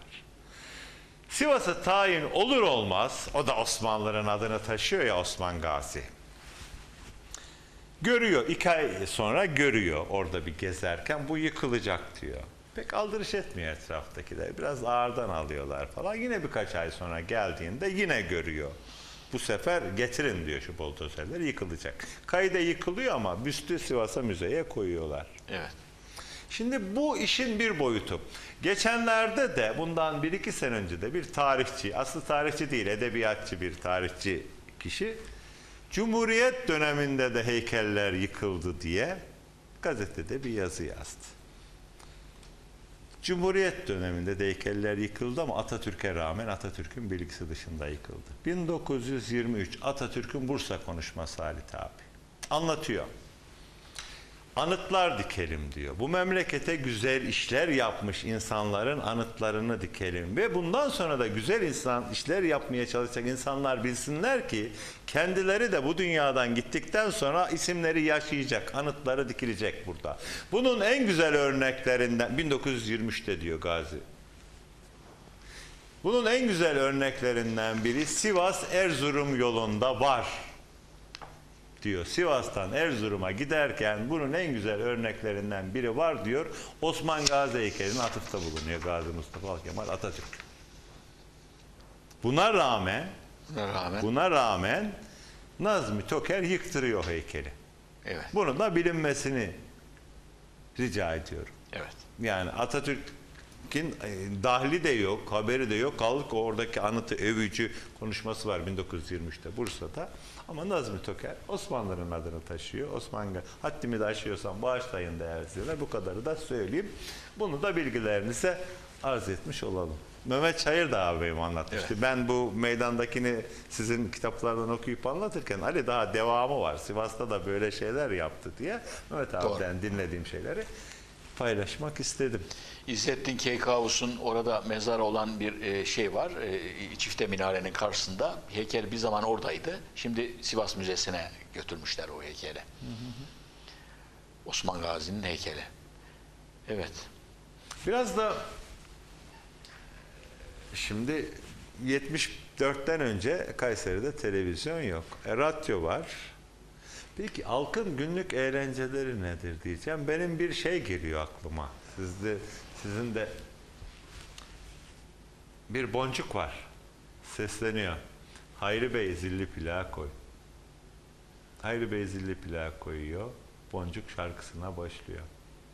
Oy dingala dingala, kömürü de koydum mangala. Ayşe de Fatma dostum var, Çalkala boncuk, çalkala. Cambaz. Cambaz. Evet. Biraz da boncuktan bahs. Yani halkın bu eğlenceler bayramlarda bir kere be- belli yerlerde e, çadırlar kurulurdu.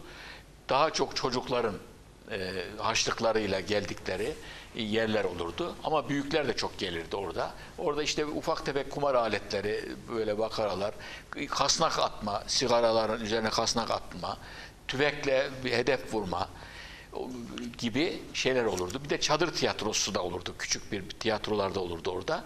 Bir de Şahmeran diye bir yılan gibi başı e, yani böyle karanlık bir ortama e, parayla girilir bir çadırın içinde. Başı bir e, kız şeklinde, kuyruğu uzun bir yılan. Ara sıra tıs mıs diye bir ses de çıkartır böyle ürpertici bir ses. Böyle bir şey teşhirde de bulunulurdu. Bir de zaman zaman Kayseri'ye cambaz gelirdi. İp cambazı. Bu benim hatırladığım kadarıyla bu cambazı ben en son şeyde görmüştüm. İstasyon cadde, istasyon gar binasının önünde bir namazgah vardı. Şimdi örnek evlerle istasyon arasında. Etrafı çevrilmiş bir açık namazgah diye bir yer vardı. Orada ben seyretmiştim. İpin üzerinde işte bu dediğiniz e, türküyü söyleyerek onların içinde cambazlar farklı cambazlar gelirdi ama en meşhuru bu boncuk dediğiniz Boncuk cambaz. Talas'a da gelirdi. Evet. Benim çocukluğumda hatırlıyorum. Arda. Demek ki buraya Kayseri şehirde gelir, oradan Talas'a Evet. gelir veya Talas'a bu gelir. boncuk buraya. meşhur artistlerden birinin de babası falan galiba. Yo, Meş- o başka. Şey o Semiha Yankı'nın Semiha babası Yankı'nın ayrı. Yok o ben. ayrı. O da boncuk galiba. O ayrı yok onun lakabı ayrı. Onu da okumuştum geçenlerde Öyle mi? araştırdım Evet. ama e, lakabı ayrı. O Semiha Yankı'nın babası değil. Bu ayrı. Boncuğun 60'lı yılların sonuyla 70'li yılların başı da Talas'a girişte eski benzinliğin karşısında boş bir alan vardı. Orada icra sanat eylerdi. Daha sonra da Çamlıbel'in daha sonraki senelerde şimdiki Çamlıbel'in yanında gösterisini yaptı. Şimdi boncuk gösterisini yapar. Ayağına su tenekeleriyle tak, dolu su tenekeleriyle takarak giderin üzerinde dolanır. Yürür. Ondan sonra bayrak açardı. Evet. Ve o günlerde değerli izleyenler, değerli Talas hemşehrilerimiz hatırlarlar mı bilmem. Gösteri biter. Küçük bir kız çocuğu elinde bir sepetle parsayı yani seyir bedelini toplamak için izleyicilerin arasında dolanır. O küçük kız çocuğu Boncuğun kızıydı. Şimdi Fransa'da bir üniversitede öğretim üyesi ve koreograf. Onu da paylaşmış olalım. Evet. Boncuğun kızı Fransa'da bir üniversitede öğretim üyesi. Bir, bir hatıratı falan var mı acaba? O, Valla o onları hanımın? şeye pek ben e, internet şeyinin biraz acemisiyim. Yeni başladım bu internetik Facebook, Facebook falan. Bilmiyorum. Biraz daha öğrensem oradan araştırmak istiyorum. Bu konuları biraz detaylandırmak istiyorum. Çünkü çocukluğumuzda anıları var artık. Onlar fena etkiliyor. Bilmiyorum. Bundan iki sene önce ol- olsa Talas'la ilgili hiçbir şey beni etkilemezdi. Ne fotoğraf etkilerdi, ne oradaki bir ana etkilerdi. Ama son iki senedir fena etkileniyorum anılarla. Bu biraz yaşla ilgili mi? Nasıl değerlendirirsiniz? Toprağa mı dönüyoruz da eski şeyler? Evet. Nasıl değerlendirirsiniz bu şeyi? Şimdi insanları şimdi e, bir tekerleme var biliyorsunuz. Geçmişe mazi derler, gelecek müpem. An bu an, dem bu dem diye. Yani geçmişe hükmedemiyoruz, geçiyor gidiyor. Bir dakika önceye, bir saat önceye, beş sene önceye, bir sene önceye elimizden gelen bir şey yok. Geleceği de bilmiyoruz, müpem. Bilinmiyor. Bir dakika sonra ne olacağını bilmiyoruz. Hayat şu anlardan ibaret. Fakat insanoğlu şu anları yaşamaya e, dizayn edilmemiş. İnsanoğlu ya maziyi yaşıyor, hele yaşı ilerledikçe bizim gibi mazideki olaylarla yaşıyor veya geleceğe ait planlar yapıyor. İşte buradan bir saat sonra eve gideceğim, yarın şunu yapacağım, bir hafta başında şunu yapacağım, bir öbür ay başında bunu yapacağım, iki sene sonra şunu yapacağım diye bilmediği, müphem olan bir zamana ait planlar kuruyor kafasından. Şimdi bu biraz yaşla alakalı. Gençler daha çok istikbale ait, geleceğe ait planlarda ağırlık veriyorlar. Bizim gibi yaşlılar da geçmişe, maziye Daha bir dönüyorlar. ağırlık o dö- daha ağırlıklı, dönüyor, daha değil şey mi? veriyorlar. Ben ona yoruyorum son Evet. iki senedir. Peki değerli izleyenler programımızın sonuna geldik. Sohbet çok güzel. Daha konuşacağımız konular çok. Bir konuyu daha arz edelim program bitirmeden önce. Ee, geniş Kayseri tarihi çok değerli bir eser. Kayseri'nin milattan önceki dönemlerinden alıp bugüne kalan Kaniş Karum'dan alıp bugüne getiren bir eser. Dolayısıyla bu eseri geniş geniş konuşmamız lazım dönem dönem. Bunu da ilerleyen programlarda lütfedip kabul buyurursa Halit abi de ilerleyen haftalarda Kayseri'nin geçmiş Kaniş Karum'dan başlayarak tarihini bu programda konuşuruz inşallah Şeref diyoruz. Çok teşekkür ederim. Bir e, şey daha sorabilir miyim izninizle bir tarihçi olarak bir tarihçi gözüyle. Size deseler ki hani böyle geriye doğru gidiş olsa size deseler ki geçmişte hangi tarihte hangi çağda nerede yaşamak istersiniz? Hangi olaya tanıklık etmek isterdiniz deseler 571 632 tarihlerini sorumuzun dışında tutuyoruz. Peygamberimizin yaşadığı dönemi. Çünkü herkes oraya atıfta bulunacaktır. Onu bir e, parantezin dışına alalım. Hangi tarihte, nerede, hangi olayla olaya tanıklık etmek isterdiniz diye sorsam.